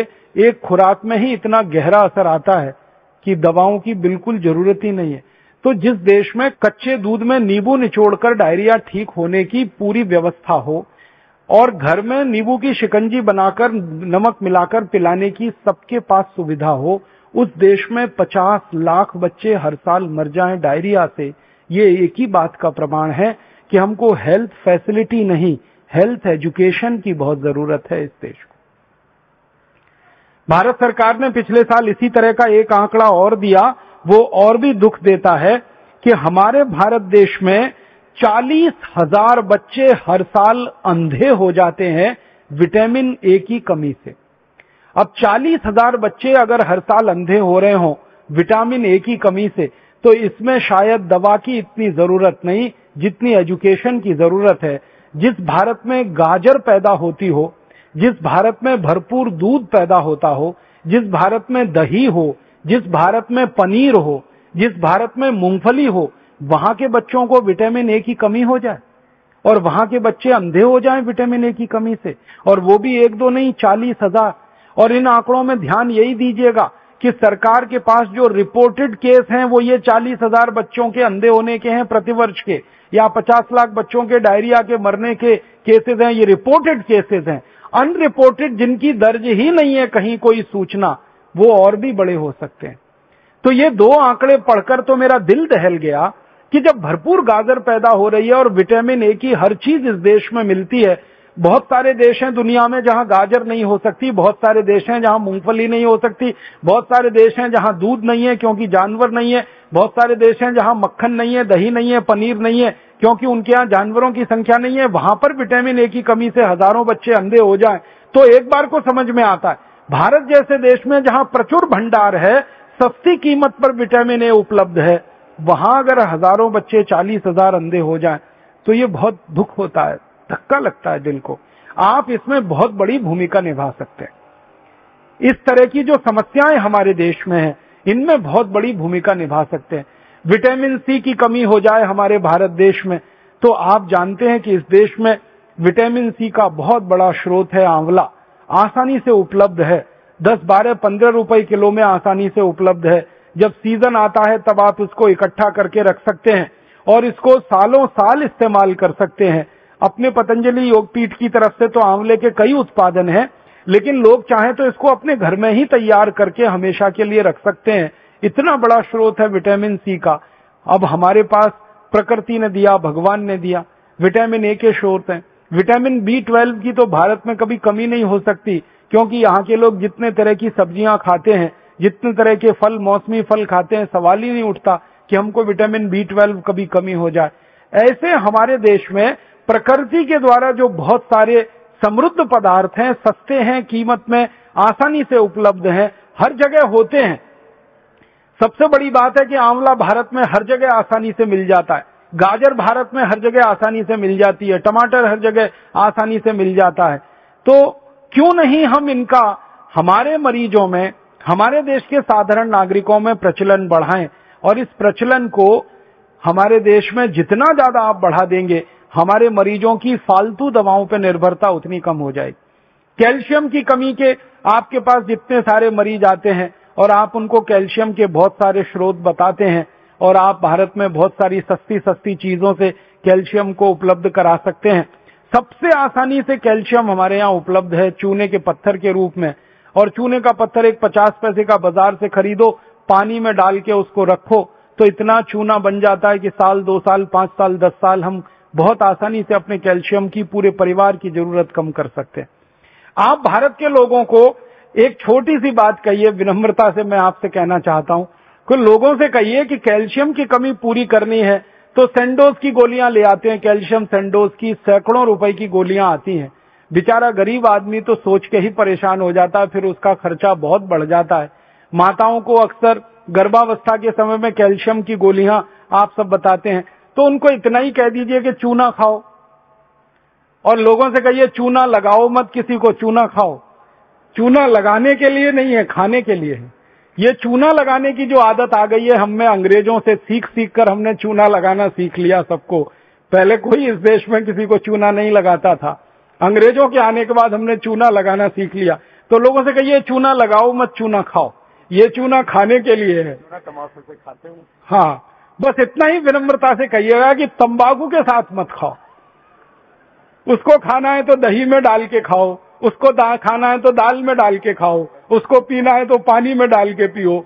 मामूली सी मात्रा जीरे के दाने के बराबर, गेहूँ के दाने के बराबर, दही में, नहीं तो दाल में, नहीं तो सब्ज़ी में, नहीं तो पानी में, आसानी से खाया जा सकता है। और बहुत बड़ा कैल्शियम का स्रोत है। भगवान ने इतना बड़ा कैल्शियम का स्रोत इस देश को दिया है, शायद ही किसी देश में होगा। वो चूने का पत्थर ही है जिससे हम सीमेंट बना रहे हैं। वो चूने का पत्थर ही है जो बीसियों तरह के उद्योग में जा रहा है। वो ही चूना हमारे मरीजों के कैल्शियम की पूर्ति में बहुत बड़ी भूमिका निभा सकता है। तो ये साधारण सी बातें आम आदमी के दिल दिमाग में बहुत जल्दी बैठ जाती हैं, लेकिन आप कहेंगे तो ज़्यादा अच्छे से। कोई दूसरा कहेगा ना तो कुतर करेगा, तुम क्या डॉक्टर हो?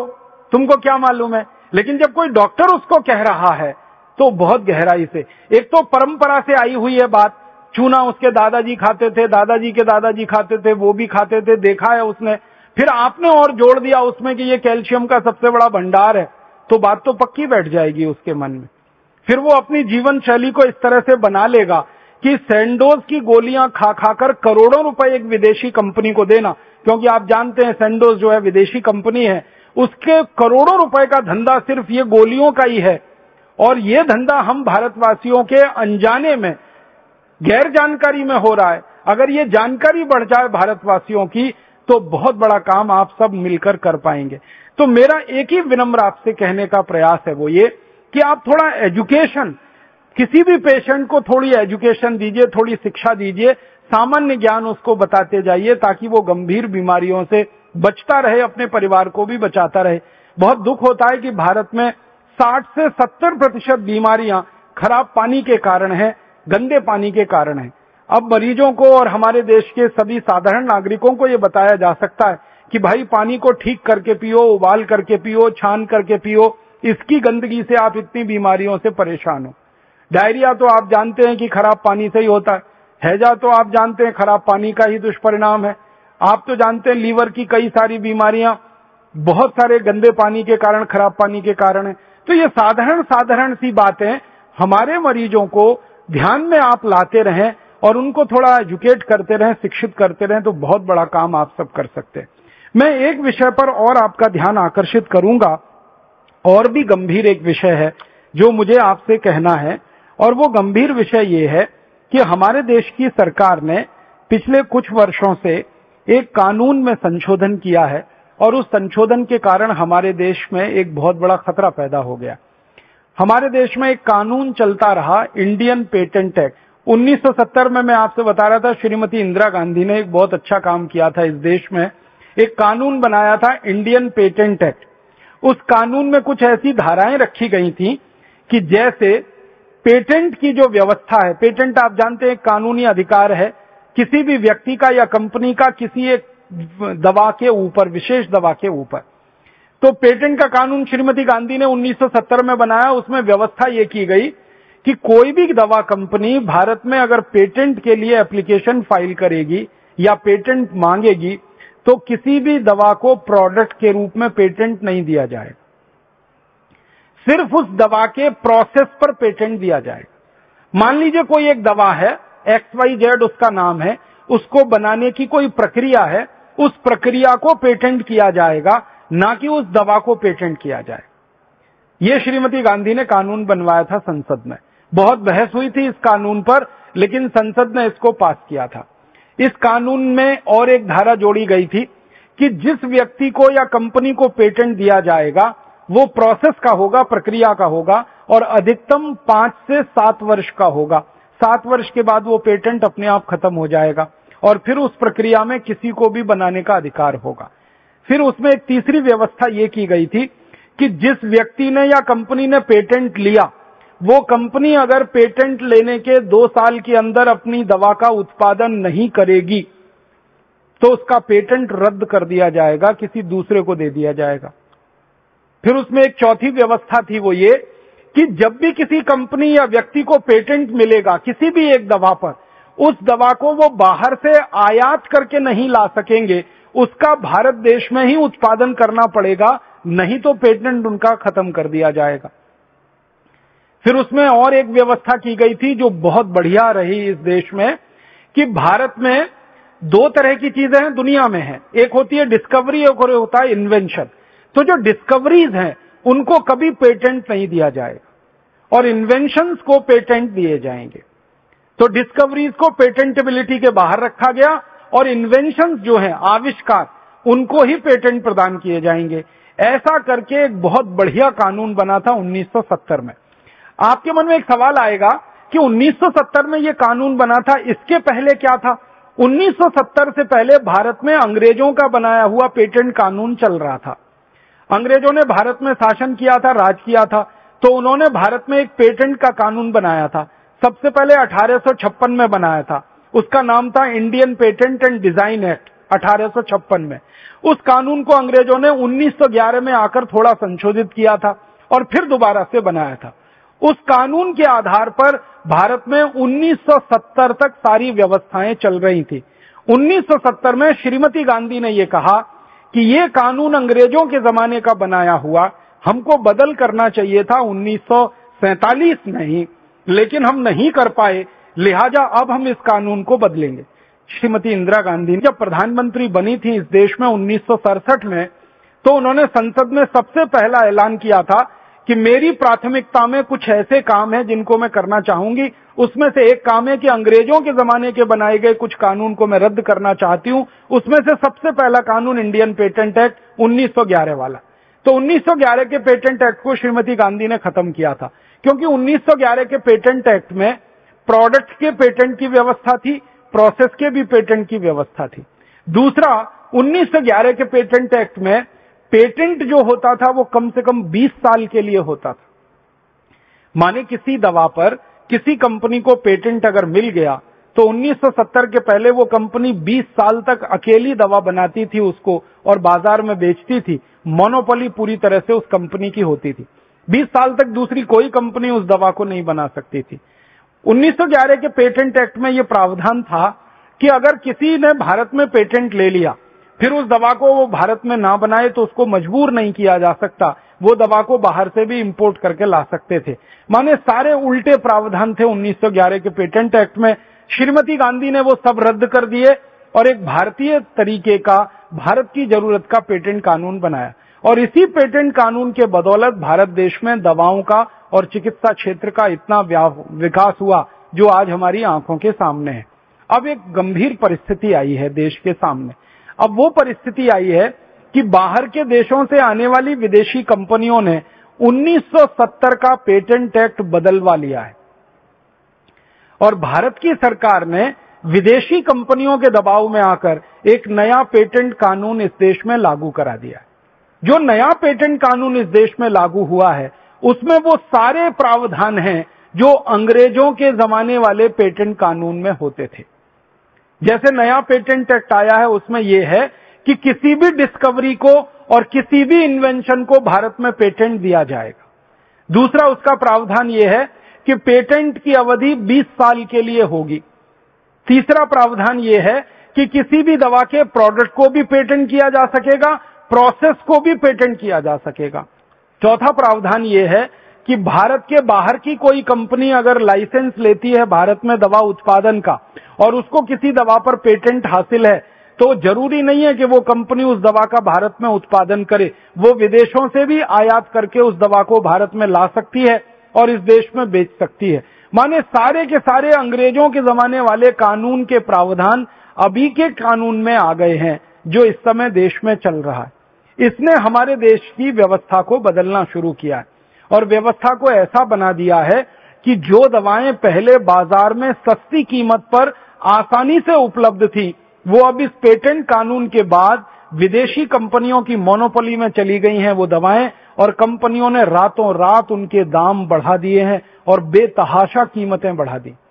मैं आपको उदाहरण देके बताना चाहता हूँ, कैंसर का इलाज करने के लिए जो दवाएँ भारत के बाज़ार में उपलब्ध हैं, वो थोड़े दिन पहले तक भारतीय पेटेंट कानून से संचालित थी 1970 वाले से। अब सरकार ने वो 1970 वाला कानून बदल दिया। अब वो दवाएँ संचालित हैं नए कानून से, जो पूरी तरह से अंग्रेजियत वाला है। इस नए कानून के आते ही जो कैंसर की दवाएँ आठ, दस, बारह हज़ार रुपए में उपलब्ध थी, अब उनकी बाज़ार में कीमतें डेढ़, दो लाख रुपए तक पहुँच गई। और बड़े बड़े चिकित्सकों को मैंने ये चिंता करते देखा है वो ये कहते हैं कि पहले जो दवाएँ आठ दस हज़ार में आसानी से उपलब्ध हो जाती थी कैंसर के इलाज में, अब उन्हीं दवाओं के लिए लाख, डेढ़ लाख, दो लाख रुपए तक एक आम आदमी को खर्च करने पड़ रहे हैं। क्योंकि वो दवाएँ बनाने का अधिकार और बेचने का अधिकार कुछ कंपनियों के हाथ में केंद्रित हो गया है। सब कंपनियाँ उन दवाओं को नहीं बना सकती और नहीं बेच सकती, क्योंकि पेटेंट नहीं। पहले बिना पेटेंट के थी जिसको अंग्रेज़ी में ऑफ़ पेटेंटेड कहा जाता है, वो दवाएँ अब वो सब पेटेंट के दायरे में आ गई हमारे भारत के बाज़ार में एक छोटा सा सर्वेक्षण अभी किया और ये जानने की कोशिश की कि कितनी दवाएँ हमारे देश में हैं जो पेटेंट के दायरे में आई हैं। तो आपको मैं ग्रुप के हिसाब से बताना चाहता हूँ एंटीबायोटिक जो दवाएँ हैं, सभी एंटीबायोटिक दवाओं में 40 प्रतिशत दवाएँ पेटेंट के दायरे में आ गई फिर उसके बाद एंटीबैक्टीरियल जो दवाएँ हैं बाज़ार में, उनमें से अट्ठानवे प्रतिशत दवाएँ 98 परसेंट पेटेंट के दायरे में आ गई। फिर उसके बाद जो एंटी फंगल दवाएँ हैं, वो लगभग उनहत्तर प्रतिशत पेटेंट के दायरे में आ गई। हैं फिर उसके बाद हृदय रोग नाशक कार्डियोवेस्कुलर मेडिसिन जिनको आप कहते हैं, वो दवाएँ करीब करीब चौहत्तर प्रतिशत पेटेंट के दायरे में आ गई। फिर उसके बाद दर्दनाशक जो दवाएँ हैं, दर्द निवारक जो दवाएँ हैं, वो करीब अठहत्तर प्रतिशत पेटेंट के दायरे में आ गई हैं। और फिर उसके बाद जो एंटी डायबिटिक मधुमेह नाशक दवाएँ हैं, वो करीब 55 प्रतिशत पेटेंट के दायरे में आ गई हैं। और अस्थमा नाशक, एंटी अस्थमेटिक जो मेडिसिन हैं, वो सैतालीस प्रतिशत पेटेंट दायरे में आ गई हैं। जो कॉन्ट्रासेप्टिव मेडिसिन है, वो करीब 88 प्रतिशत पेटेंट के दायरे में आ गई हैं। और जो एंटी अल्सर दवाएँ हैं, अल्सर रोधी। वो करीब पैंसठ प्रतिशत पेटेंट दायरे में आ गई हैं। और जो ल्यूकेमिया के काम में ल्यूकेमिया इलाज में ल्यूकेमिया रोधी दवाएँ जो मानी जाती हैं, वो 32 प्रतिशत पेटेंट के दायरे में आ गई। मतलब कुछ ही दवाएँ हैं जो अब पेटेंट दायरे के बाहर हैं। एंटीबैक्टीरियल में तो सिर्फ़ दो प्रतिशत दवाएँ हैं जो पेटेंट दायरे के बाहर हैं। और दूसरे ग्रुप्स में किसी में 20-25 किसी में 40 प्रतिशत तक। इसका मतलब यह है कि जो दवाएँ पेटेंट के दायरे में आ गई, अब उनके ऊपर एकाधिकार किसी कंपनी का हो गया। मैं एक छोटे से उदाहरण से आपको समझाता हूँ। मेरे हाथ में एक बॉल पेन है। अगर इस बॉल पेन के ऊपर मुझे पेटेंट मिल गया तो आप जान लीजिए, इसको बनाकर बेचने का 20 साल तक अधिकार मेरे हाथ में रहेगा। कोई भी दूसरा इस बॉल पेन को ना बना सकेगा, ना बेच सकेगा।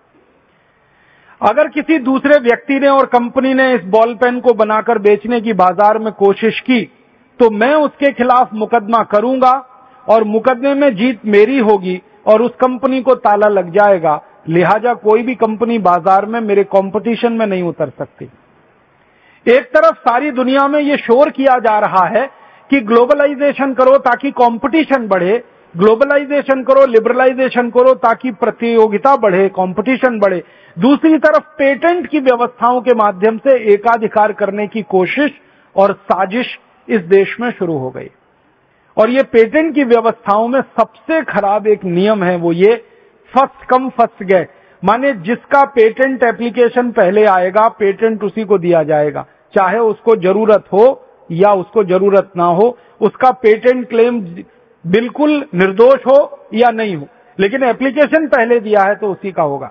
मान लीजिए मैंने भारत के पेटेंट रजिस्ट्रार के कार्यालय में एक दाखिल किया एप्लीकेशन किसी पेटेंट के लिए और मुझसे एक घंटे पहले किसी और कंपनी ने दाखिल कर दिया वही पेटेंट तो मुझे नहीं मिलेगा, उस कंपनी को मिले। भले ही मेरा क्लेम कितना भी जेन्युन हो।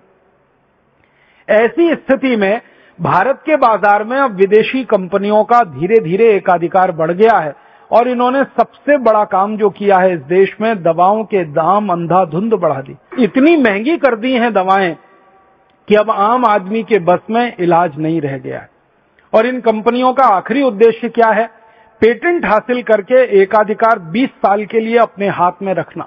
माने 20 साल तक वो दवा बनाए, वही बेचें, पूरा मुनाफा वही कमाए दूसरा कोई उस दवा को ना बना सके, ना बेच सके। आप जानते हैं इसका सबसे बड़ा दुष्परिणाम हुआ कि हमारे देश की जो पब्लिक सेक्टर की कंपनियाँ ज़रूरी दवाएँ बना रही थी, एंटीबायोटिक्स बहुत सस्ती कीमत पर हमारे देश में बनाने के लिए एक कंपनी बनी थी, जिसका नाम है IDPL, Indian Drugs Pharmaceutical Limited. IDPL की ज़्यादातर इकाइयाँ अभी बंद हो गई इस कानून के आने के बाद। क्यों?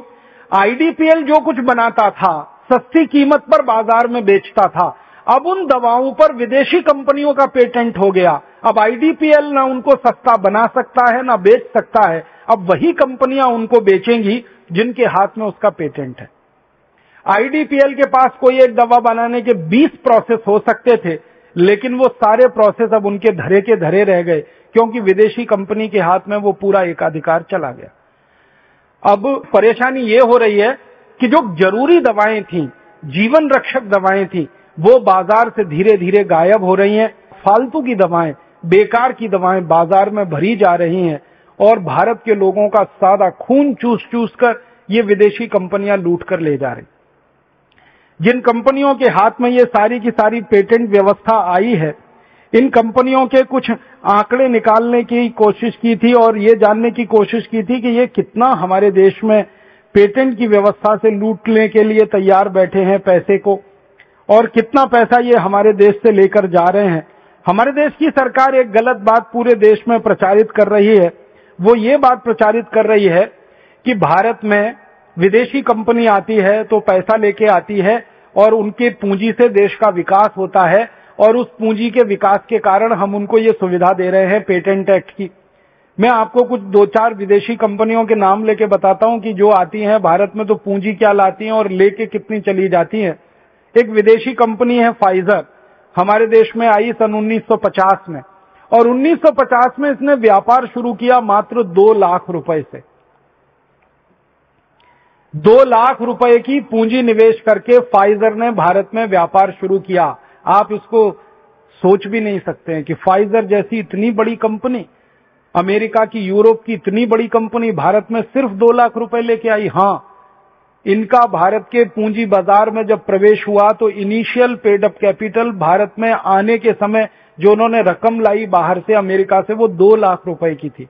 और दो लाख रुपए से व्यापार शुरू किया 1950 में। और एक साल में ही इन्होंने, सिर्फ़ एक साल के व्यापार में भारत से जो पैसा अमेरिका ट्रांसफ़र कर दिया, वो पाँच लाख रुपए। एक ही साल। पाँच लाख रुपए माने पाँच करोड़ पिचासी लाख रुपए। दो लाख रुपए लेके आए, पाँच लाख रुपए पहले ही साल में कमा के ले गए। माने उनकी जो भारत में पूंजी लगी, उस पर कितने सौ प्रतिशत वो लूट कर ले गए, अंदाज़ा लगाइए और आज इस पेटेंट व्यवस्था में सबसे बड़ा फ़ायदा जो हो रहा है, माने जिस अमेरिकन कंपनी के लिए पेटेंट कानून बदला गया, वो यही कंपनी है फाइजर। तो जब आने के पहले साल में हज़ारों प्रतिशत मुनाफा वो ले जाती है तो आज तो उसकी भारत देश से ले जाई जाने वाली रकम सैकड़ों करोड़ रुपए में। 180 करोड़ का नेट प्रॉफिट वो दिखाते हैं पिछले साल के उनके बैलेंस शीट में।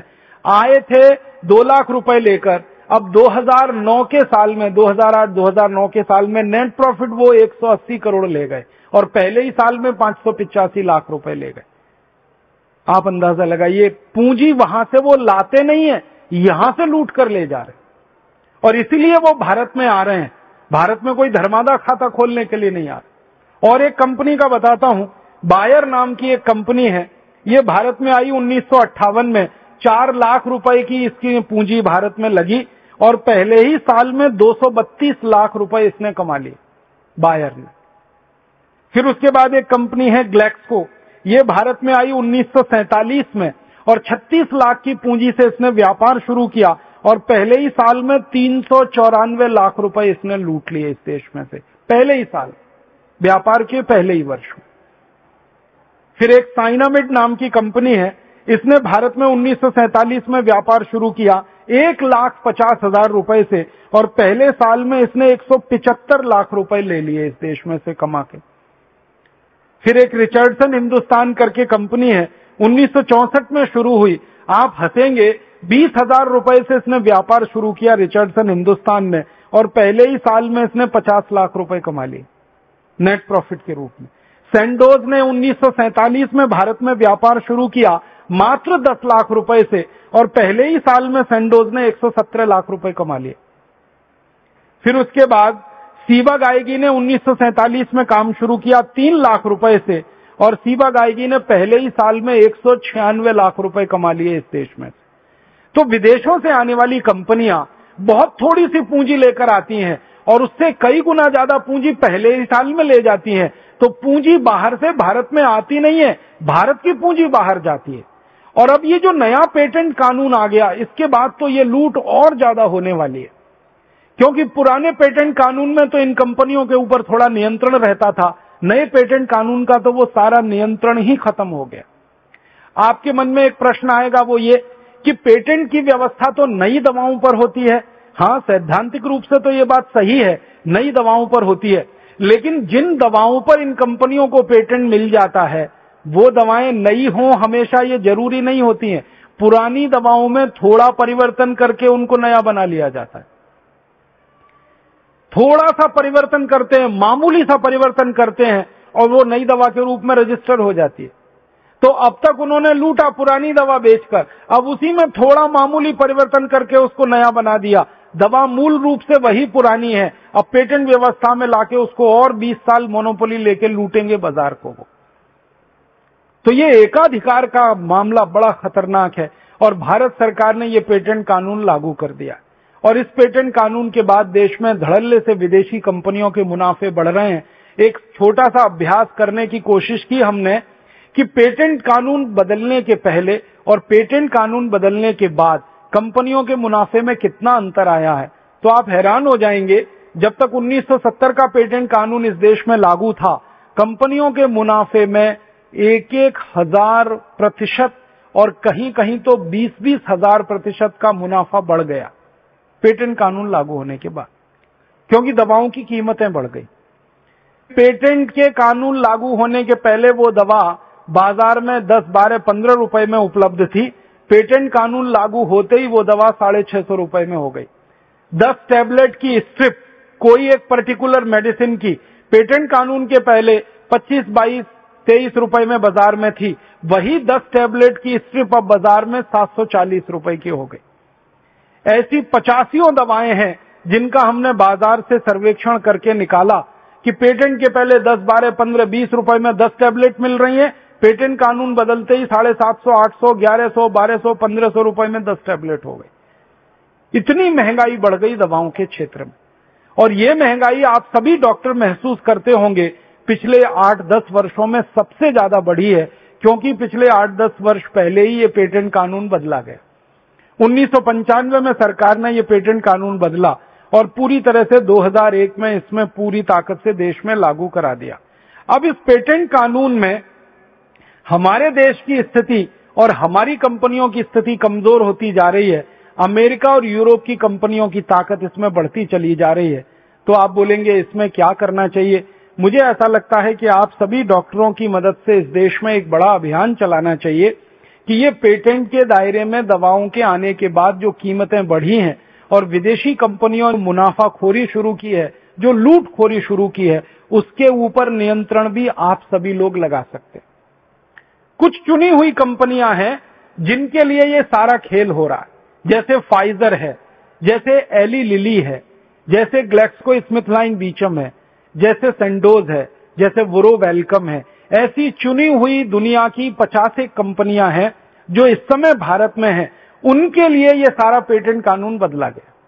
और उन्होंने ज़बरदस्त लॉबिंग करके सरकार के अधिकारी और नेताओं के स्तर पर घूसखोरी फैलाकर इस कानून को अपने पक्ष में करवा लिया। आम आदमी को पता ही नहीं चला कि पिछले आठ दस वर्षों में दवाओं की जो कीमतें अंधाधुंध बढ़ी हैं, वो किसी कानून के बदलने से बढ़ी हैं ना कि बाज़ार में रॉ मटेरियल की कीमत बढ़ने से। हमको कई बार ऐसा लगता है, कई हमारे डॉक्टर मित्र हैं, वो कहते हैं कि शायद आठ दस वर्षों में जो मूल दवाएँ हैं, जो रॉ मटेरियल है, जो केमिकल्स हैं, उनकी कीमतें बढ़ी होंगी, इसलिए दवाओं की कीमतें बढ़ी हैं। आपको हैरानी होगी जानकर कि कई मूल दवाओं की कीमतें पिछले दस साल में घटी हैं। बिल्कुल घटी है। मैं बताता हूँ, एक दवा है, एक खास तरह की दवा नाम नहीं ले रहा हूँ, उसका चौबीस हज़ार रुपए किलो के आसपास थी दस साल पहले। अब वो दवा हज़ार बारह सौ रुपए किलो के आसपास इस देश में बन रही है। इतनी कीमत उसकी कम हुई है। छत्तीस सैंतीस हज़ार रुपए किलो की एक मूल दवा थी, आज वो सात आठ सौ रुपए किलो में बन रही है। तो आठ दस वर्षों में मूल दवाओं की कीमतें, रसायनों की कीमतें घटी हैं। फिर भी बाज़ार में बिकने वाली जो ब्रांडेड मेडिसिन है, उनकी कीमतें हज़ारों प्रतिशत बढ़ी हैं। उसका कारण है पेटेंट का कानून। और किन्हीं कंपनियों की पूरे बाज़ार पे मोनोपोली और उनका एकाधिकार। आप इन कंपनियों की मोनोपोली को चुनौती दे सकते हैं और इनके एकाधिकार को तोड़ सकते हैं। आप बस थोड़े से जागरूक हो जाएँ, थोड़े ज़्यादा संवेदनशील हो जाएँ और थोड़ा सा देश के बारे में ज़्यादा सोचना आप शुरू करें तो बहुत आसानी से इन कंपनियों के इस पूरे दुष्चक्र को आप तोड़ सकते हैं और इनको ज़मीन पे ला सकते हैं। बस आपको एक ही बात करनी है और वो बात हमारी नहीं है, मेरी नहीं है। महात्मा गांधी की सिखाई हुई और बताई हुई। है महात्मा गांधी कहा करते थे कि जब गुलामी का पहाड़ बहुत बड़ा हो जाए तो बहिष्कार वो डायनामाइट है जो किसी भी गुलामी के पहाड़ को तोड़ सकता है। ये गांधी जी कहा करते 1942 में उन्होंने भारत के लोगों को यह कहा था कि अंग्रेज़ों की गुलामी बहुत बढ़ गई है। अब इस अंग्रेज़ी गुलामी को तोड़ने का एक ही रास्ता है। कि आप अंग्रेज़ों का और अंग्रेज़ी वस्तुओं का बहिष्कार करें, उसके बाद ये गुलामी टूट जाएगी। और भारत के लोगों ने किया और अंग्रेज़ों की गुलामी टूटी और 15 अगस्त उन्नीस सौ सैंतालीस को हम आज़ाद हो गए। महात्मा गांधी की यही बात मैं आपको याद दिलाना चाहता हूँ कि अभी ये विदेशी कंपनियों की गुलामी बहुत बढ़ गई है। दवा के क्षेत्र में उनकी लूटखोरी बढ़ गई है। उनका मुनाफाखोरी बहुत ज़्यादा बढ़ गया है। भारत से जो लूट लूट कर वो पैसा ले जा रहे हैं दिन दिन बढ़ता ही जा रहा है, रात रात बढ़ता जा रहा है। पहले 60-70 करोड़ रुपए लेके जाते थे 1970 में। आज बड़े आराम से हर साल 32 से पैंतीस हज़ार करोड़ तो ऑफिशियल उनके आंकड़े हैं, वो लूट के ले जा रहे हैं यहाँ से। फाइजर है ग्लेक्सको है एली लिली है स्मिथ लाइन बीचम है। मैंने आपको बताया सीवग आएगी है सेंडोज है बुरोज वेलकम है। ऐसी पचास एक कंपनियाँ हैं। इनको आप भी अच्छे से जानते हैं। क्योंकि आप प्रतिदिन चिकित्सा क्षेत्र में इन कंपनियों का नाम सुनते हैं। मेरी आपसे सिर्फ़ विनम्र प्रार्थना है कि इन कंपनियों ने सरकार को तो खरीद लिया, नेताओं को तो खरीद लिया, और हमारे विधायकों को, सांसदों को भी खरीद लिया, और उनकी मनमर्जी का कानून पास करा लिया संसद में। और भारत की कोई विधानसभा इस कानून का विरोध ना करे, इसके लिए विधानसभाओं से पहले अनुमति उन्होंने ले ली। तो ये सब काम उन्होंने करके खेल अपना खेल लिया। लेकिन मेरा कहना है कि आप चिकित्सक बंधु अगर इकट्ठे हो जाएँ और एक संकल्प ले लें तो इन सारे विदेशी कंपनियों ने ये जो खेल खेला है, इसको आप उलट सकते हैं और इनके षड्यंत्र को नाकाम कर सकते हैं। बस आपको एक ही चीज़ का प्रयोग करना है, बहिष्कार बहिष्कार और बहिष्कार। मैंने आपसे शुरू में एक निवेदन किया था, वो ये था कि आप गैर ज़रूरी दवाएँ प्रेस्क्रिप्शन में ना लिखें, फालतू दवाएँ ना लिखें गैर ज़रूरी हेल्थ टॉनिक प्रेस्क्रिप्शन में ना लिखें, फालतू दवाओं के हेल्थ टॉनिक ना लिखें। इसके साथ साथ एक विशेष निवेदन मेरा ये है कि विदेशी कंपनियों की दवाएँ आपके प्रेस्क्रिप्शन में बिल्कुल ना लिखें, क्योंकि हमने बाज़ार में ये पूरा सर्वेक्षण कर लिया है कि विदेशी कंपनियों की एक भी दवा ऐसी नहीं है जो भारत में बनती नहीं है जिसका स्वदेशी विकल्प नहीं। सभी विदेशी कंपनियों की दवाएँ कैंसर से लेकर और साधारण दवाएँ सर्दी, खांसी, जुकाम तक भारत के बाज़ार में उपलब्ध हैं, उनके स्वदेशी उत्पादक हैं और स्वदेशी विकल्प हैं। तो जब विदेशी कंपनियों की दवाओं के स्वदेशी विकल्प बाज़ार में हैं तो आपको सिर्फ़ प्रिस्क्रिप्शन में वो डालना है। और इतने से ही पूरे देश में एक नई चेतना का आरंभ हो जाएगा, एक नए युग का आरंभ हो जाएगा। तो आप सभी चिकित्सक बंधुओं से, बहनों से मेरी यही विनती है कि जब प्रिस्क्रिप्शन लिखें तो ध्यान रखें फाइजर कंपनी की कोई दवा आपके प्रिस्क्रिप्शन में ना आए। ग्लेक्सको की कोई दवा ना आए। स्मिथ लाइन बीचम की ना आए। वरोज वेलकम की ना आए। सेंडोज की ना आए। जितनी बड़ी बड़ी विदेशी कंपनियाँ एली लिली की ना आए। ये एली लिली तो इतनी खतरनाक कंपनी है, अमेरिका से भारत में आ गई है। इसका लक्ष्य है कि भारत की हर बड़ी कंपनी को खत्म किया जाए और उसको अपने कब्जे में लिया जाए। आपको मालूम है, भारत की एक बहुत बड़ी स्वदेशी दवा कंपनी हुआ करती थी रेन बैक्सी आप जानते हैं? रेन बैक्सी जिसने सारी दुनिया में नाम कमाया। सस्ती दवाएँ, अच्छी दवाएँ, और भारत का निर्यात बढ़ाकर भारत का गौरव बढ़ाया। उस रेन बैक्सी को इस एली लिली कंपनी ने रातों रात खरीद लिया। आप बोलेंगे, जी, कारण क्या?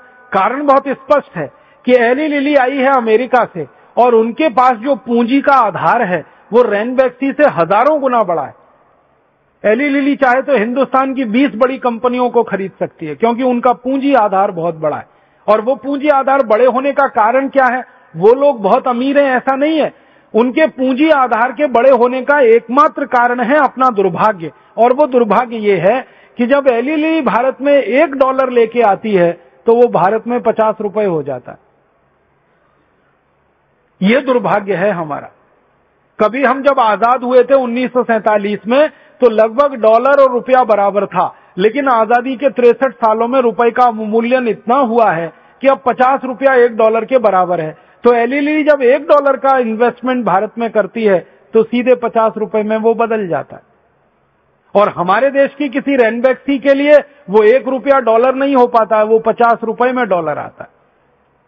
तो आप जरा इसका अंदाज़ा लगाइए कि एली लिली अपनी एक इकाई के खर्चे से भारत की किसी कंपनी की पचास इकाई खरीद सकती है फिफ्टी यूनिट सिर्फ़ एक यूनिट खर्च करके वो फिफ्टी यूनिट पचास इकाई खरीद सकते हैं।